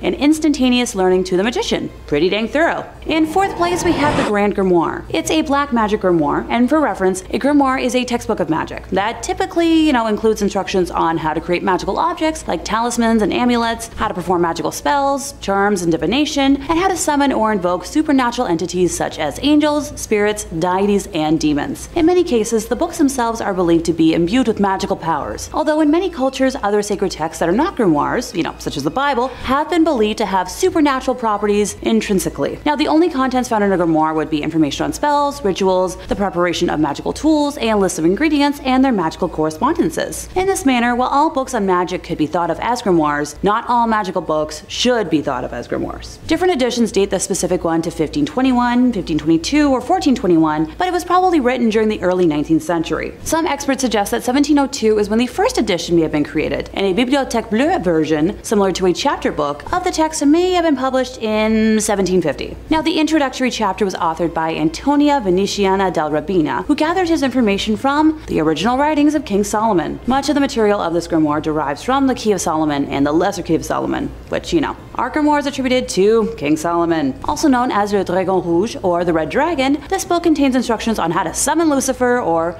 Lucifuge Rofocale for the purpose of forming a deal with the devil. The 19th century French occultist Eliphas Lévi, author of Dogmes et Rituels de la Haute Magie, claimed the contemporary edition of Le Dragon Rouge was a counterfeit of a true older Grand Grimoire. Gosh, I love petty historical spats. Now, the overall work is divided into two books. The first book contains instructions for summoning a demon and for the construction of tools with which to force the demon to do one's bidding. The second book is divided further into two more parts the Sanctum Regnum and Secrets de l'Art Magique du Grand Grimoire. The Sanctum Regnum contains instructions for making a pact with the demon, allowing one to command the spirit without the tools required by Book 1, but at greater risk. Secrets contains simple spells and rituals one can employ after having performed the ritual of the first book. Some editions contain a short text between these two parts, known as Le Secret Magique ou Le Grand Art de Pouvoir Parler aux Morts, or in English, The Magic Secret or the Grand Art of Being Able to Speak with the Dead, which deals with necromancy. The book describes several demons as well as the rituals to summon them in order to make a pact with them. It also details several spells for winning a lottery, talking to spirits, being loved by a girl, making oneself invisible, and more. This book mentions the three greater demons, which are similarly prioritized in the Grimorium Verum. Sidebar In the English translation of the work, the demons are referred to by the more generic term of spirits, which is a term I know some modern Satanists tend to prefer. The demons that are mentioned are the Emperor Lucifer, Prince Beelzebub, and Grand Duke Astaroth. Now, this work also makes mention of six lesser demons, and of course I'll mention them all. Lucifuge Rofocale, Prime Minister, Satanachia, Commander in Chief, Agaliarept, Commandant, Fleurety, Lieutenant General, Sargatanas, Brigadier Major, Nebulos, Marshal, and Inspector General. In third place, we have the complete book of Demonolatry. Written by S. Connolly, it boasts telling the reader how to discover powerful rites, magic, and practices that honor Satan and the demons. Now, this text, used by the traditional demonolatry priesthood to train members of their covens, is part workbook, part textbook, and part reference book. It includes thorough chapters on demonology, history, demonic holy days, offerings, prayers, sigils, religious rites, and an introduction to demonolatry magic. Okay, this might be the first book I'm actually tempted to buy for myself. If only just to learn more about like demonology history from someone that isn't Ed Warren for once. I love the Warrens and their work, but at the same time, it would be kind of neat to learn from a lens that isn't, you know, as biased in Catholicism. Let's see what else it advertises. Learn how and why the ends, demonolatry sigils, ascension, and many other demonolatry methods have become standard practice among many theistic Satanists. It claims to guide students from pre-initiate to adept. It even delves into the depths of demonolatry, sex magic, necromancy, scarlet elixir rites, and red fluid sacrifice. See, that entire last phrase I can do without. Let me know what y'all think in the comments. Should I bother investing in it or not? In second place, we have the Grimorium Verum. The Grimorium Verum, which is Latin for true grimoire, is an 18th century grimoire attributed to one Alabek the Egyptian of Memphis, who wrote it in 1517. Like many grimoires, yep, it claims a tradition originating with King Solomon. The grimoire is not a translation of an earlier work, with its original appearing in French or Italian in the mid 18th century, as noted already by A.E. Waite, who discussed the work in his book of ceremonial magic in 1911, stating that the date specified in the title of Grimorium Verum is undeniably fraudulent since the work belongs to the middle of the 18th century and Memphis is Rome. Alrighty. One version of the grimoire was included as the Clavicles of King Solomon, Book 3, in one of the French manuscripts S. L. MacGregor Mathers incorporated in his version of the Key of Solomon, but it was omitted from the key with his explanation. That apparently at the end there are some short extracts from the Grimorium Verum with the seals of evil spirits, which, as they do not belong to the Key of Solomon proper, I have not given. For the evident classification of the key is in two books and no more. I just love feuds. Idries Shah also published some of it in The Secret Lore of Magic, the Book of Sorcerers in 1957. Alrighty, time to break down all four books. So book one is described as concerning the character of demons, particularly the superior spirits of Lucifer,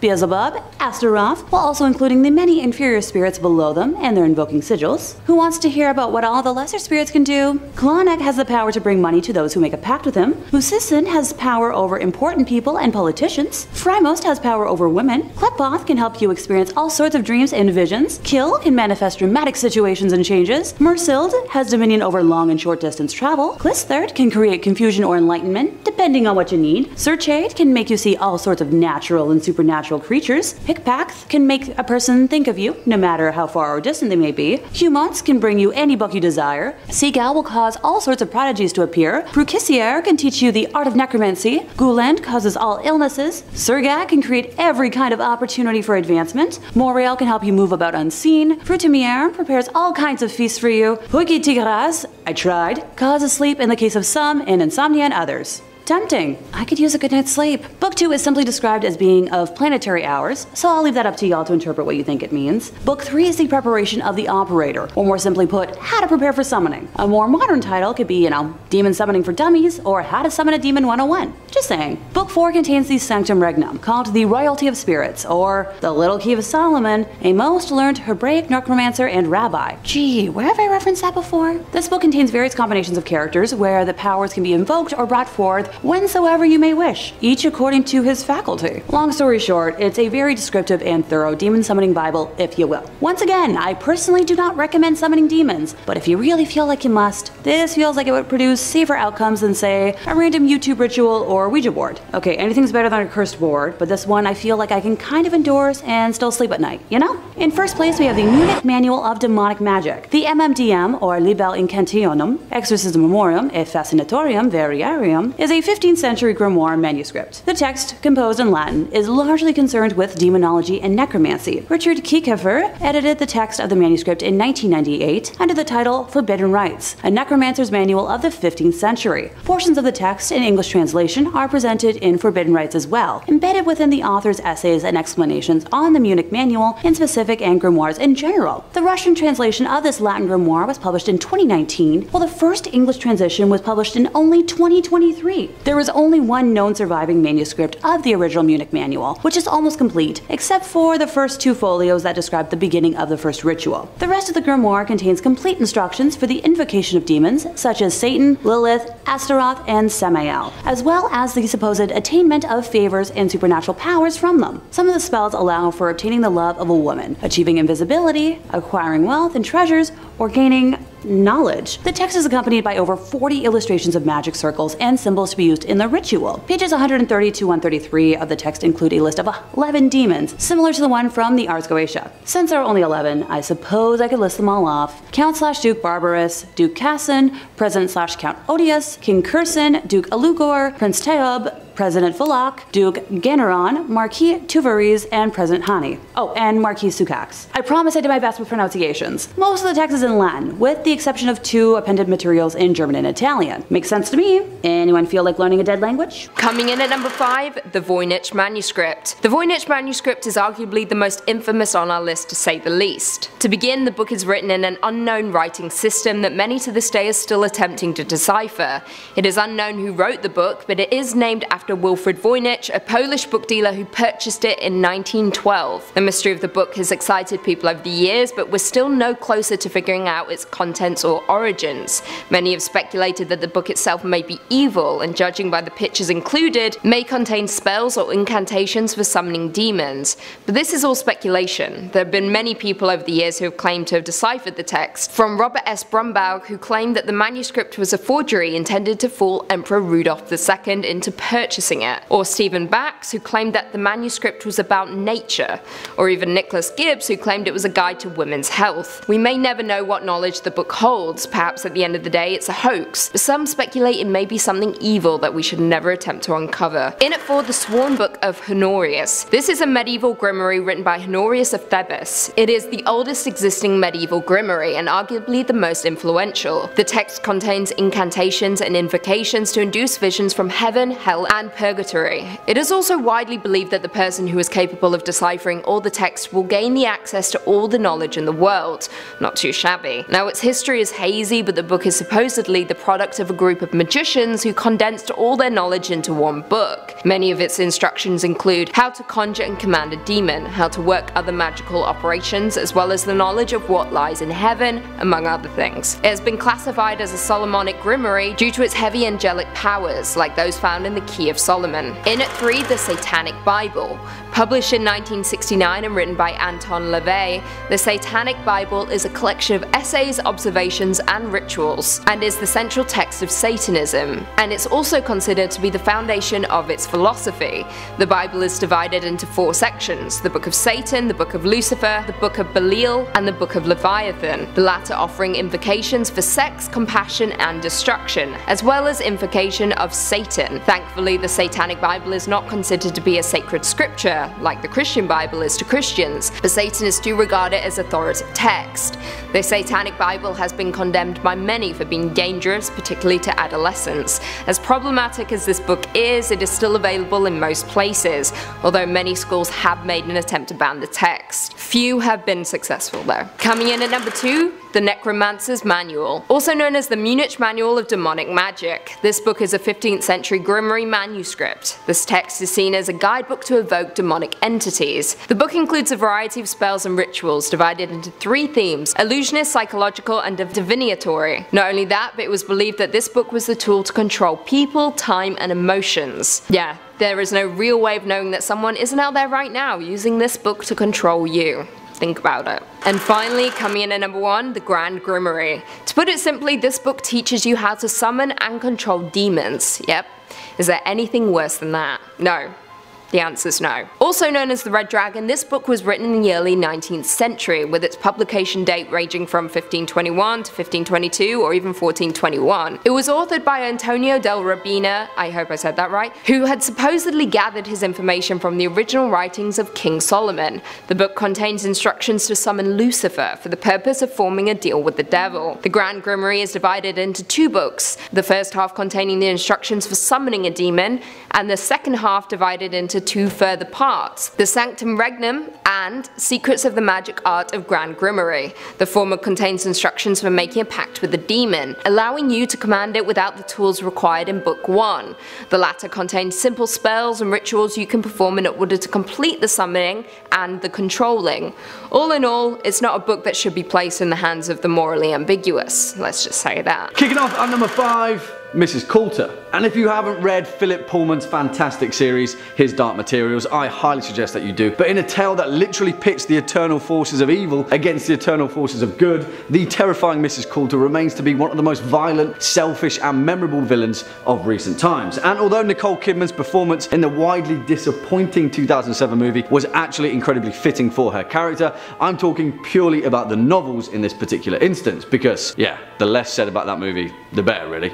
And it's an interesting one because if you know nothing about the novels, Pullman's His Dark Materials is a young adult trilogy that covers some incredibly weighty themes, but it's in the later implication of Mrs. Coulter's actions where the true consequences of her villainy were finally revealed. Although that's definitely not to say that throughout the story she's not the literal definition of evil wrapped up in an aesthetically pleasing package because that's exactly what she is. Now I'll try my hardest not to spoil the character of Mrs. Coulter, but perhaps the best way to describe the nature of her evil is with her daemon. You see, in the world of his dark materials, people are explicitly connected to a creature that serves as a physical manifestation of their human soul, which appears as various kinds of creatures from the animal kingdom. In this instance, Mrs. Coulter's daemon was a male golden monkey that on the surface appeared to be a beautiful, curious creature, and alongside his human familiar, the two of them would entice and flatter adults and children alike whilst working for the General Oblation Board, the secret arm of the Magisterium, a corrupt holy church. Like I said, weighty. Her daemon perfectly reflected Mrs. Coulter's personality as a beautiful creature on the surface, but running deep with malevolent intentions. On one occasion, her daemon was seen tearing the wings off of cave bats out of sheer boredom. Yeah, that says a lot. Coming in at number four, O'Brien. And this particular fictional creation comes from George Orwell's resounding and highly important novel, 1984. And yeah, it's going to be incredibly difficult to explain the evil behind this character in particular without spoiling the novel. But hey, Orwell published this book 70 years ago in 1949, so I think you've had fair warning. In the world of 1984, the protagonist, Winston Smith, lives in a dystopian, oppressive, totalitarian version of Britain, a portion of the superstate of Oceania, which has been under the rule of Ingsoc and Big Brother for time long forgotten. He who controls the past controls the future and all that. In the society, nothing is safe from the eternal gaze of Big Brother, and even the confines of the human mind aren't safe from the Thought Police, an organisation that serves as the secret, ever watchful eye of Ingsoc. And that's where O'Brien steps in, an administrator that works in the Ministry of Truth and who leads Winston Smith to believe that he is secretly leading an underground resistance known as the Brotherhood to bring down Ingsoc from within and overthrow the party. In actual fact, though, as is revealed in a vital moment of realization in the novel, this whole thing is just a game to O'Brien and he in fact finds great joy weeding out citizens that aren't completely loyal to the party and to Ingsoc. O'Brien's entire method of operation is to lure in anyone who even questions the party's authority by pretending to be on their side and buy into their model of rebellion and then of course instead arrest them and cure them through moments of perverse torture of the human mind. I mean, compared to some entries on this list, O'Brien is the definition of a very human fear. He exemplifies totalitarian authority with every morsel of hope that he extinguishes. In his own words, if you want a picture of the future, imagine a boot stamping on a human face forever. Yeah, although perhaps not the root of all villainy, this guy comes pretty close. Next up at number 3, Euron Greyjoy. And please, no, don't panic, I'm not talking about the show's representation of Euron Greyjoy, but purely the book series. Although I still love the show for the most part, Euron Greyjoy wasn't given the portrayal that his character deserved, and there's no denying that in George Martin's A Song of Ice and Fire, the Crow's Eye himself, Euron Greyjoy, is one of the most terrifying villains in the whole of modern fantasy. And again, it's because of his humanity, or lack thereof. Now, George Martin is one of the finest writers of our time and has a particular knack for creating characters of pure evil, down to the fact that he segues the conventional notions of light and dark and instead focuses on areas of grey. But no, Not for Euron. Euron Greyjoy is just straight up the most truly evil inhabitant of the known world. Just compare him to some of the most memorable villains of the entire series so far, anyway, and they all pale in comparison to Euron. Ramsay Bolton, Tywin Lannister, Joffrey, all of them various shades of villainy, cruelty, and malice that have all equally committed some of the most violent and horrifying atrocities in the series, and Euron still takes the cake. You see, he's not a psychopath in the conventional sense, he's not prone to violent bursts of anger by impulse alone, but maintains his own entirely calculated sense of chaos that once showing us the true rage that lies within him, and believe me, there's plenty of it. Take for example how Euron Greyjoy calmly ripped out the tongues of his entire crew after a storm took his ship by surprise. He ripped out every single crew member's tongue without a second thought, and his reason was that he needed silence. Allegedly, anyway. Because as we all know, it's pretty difficult to stage a mutiny without a tongue. And that isn't even close to the worst of it, because the true evil of Euron's character is explicitly revealed throughout allusions to his childhood, pitting reason as to why his brothers despise him with such hatred. You see, the Greyjoys are pirates, reavers, and pillagers who take what they want in pursuit of riches untold. But Euron, despite having sailed pretty much across the entire known world, collecting countless treasures along the way and becoming the most successful Iron Islander of all time, he keeps none of it for himself. Euron isn't in it for the plunder, perhaps then his violent nature would make sense. He's in it for something else entirely. What that something is, only he'll ever know, and that's the terrifying part. Swinging in at number two, Nurse Ratched. And this particular entry may get people's blood boiling a little because there's no denying the fact that Louise Fletcher's performance in 1975's One Flew Over the Cuckoo's Nest caused an entire generation to scream out in rage at the screen as her fantastic portrayal of Nurse Ratched relentlessly proved that there are few limits to the depths that absolute power can corrupt absolutely. And although Fletcher's performance was without a doubt iconic in its own right, that's not to detract from the fact that Ken Kesey's 1962 novel just so happened to pen one of the most terrifying villains in the whole of literature. And again, it was down to her warped sense of humanity, or lack thereof, where the true nature of evil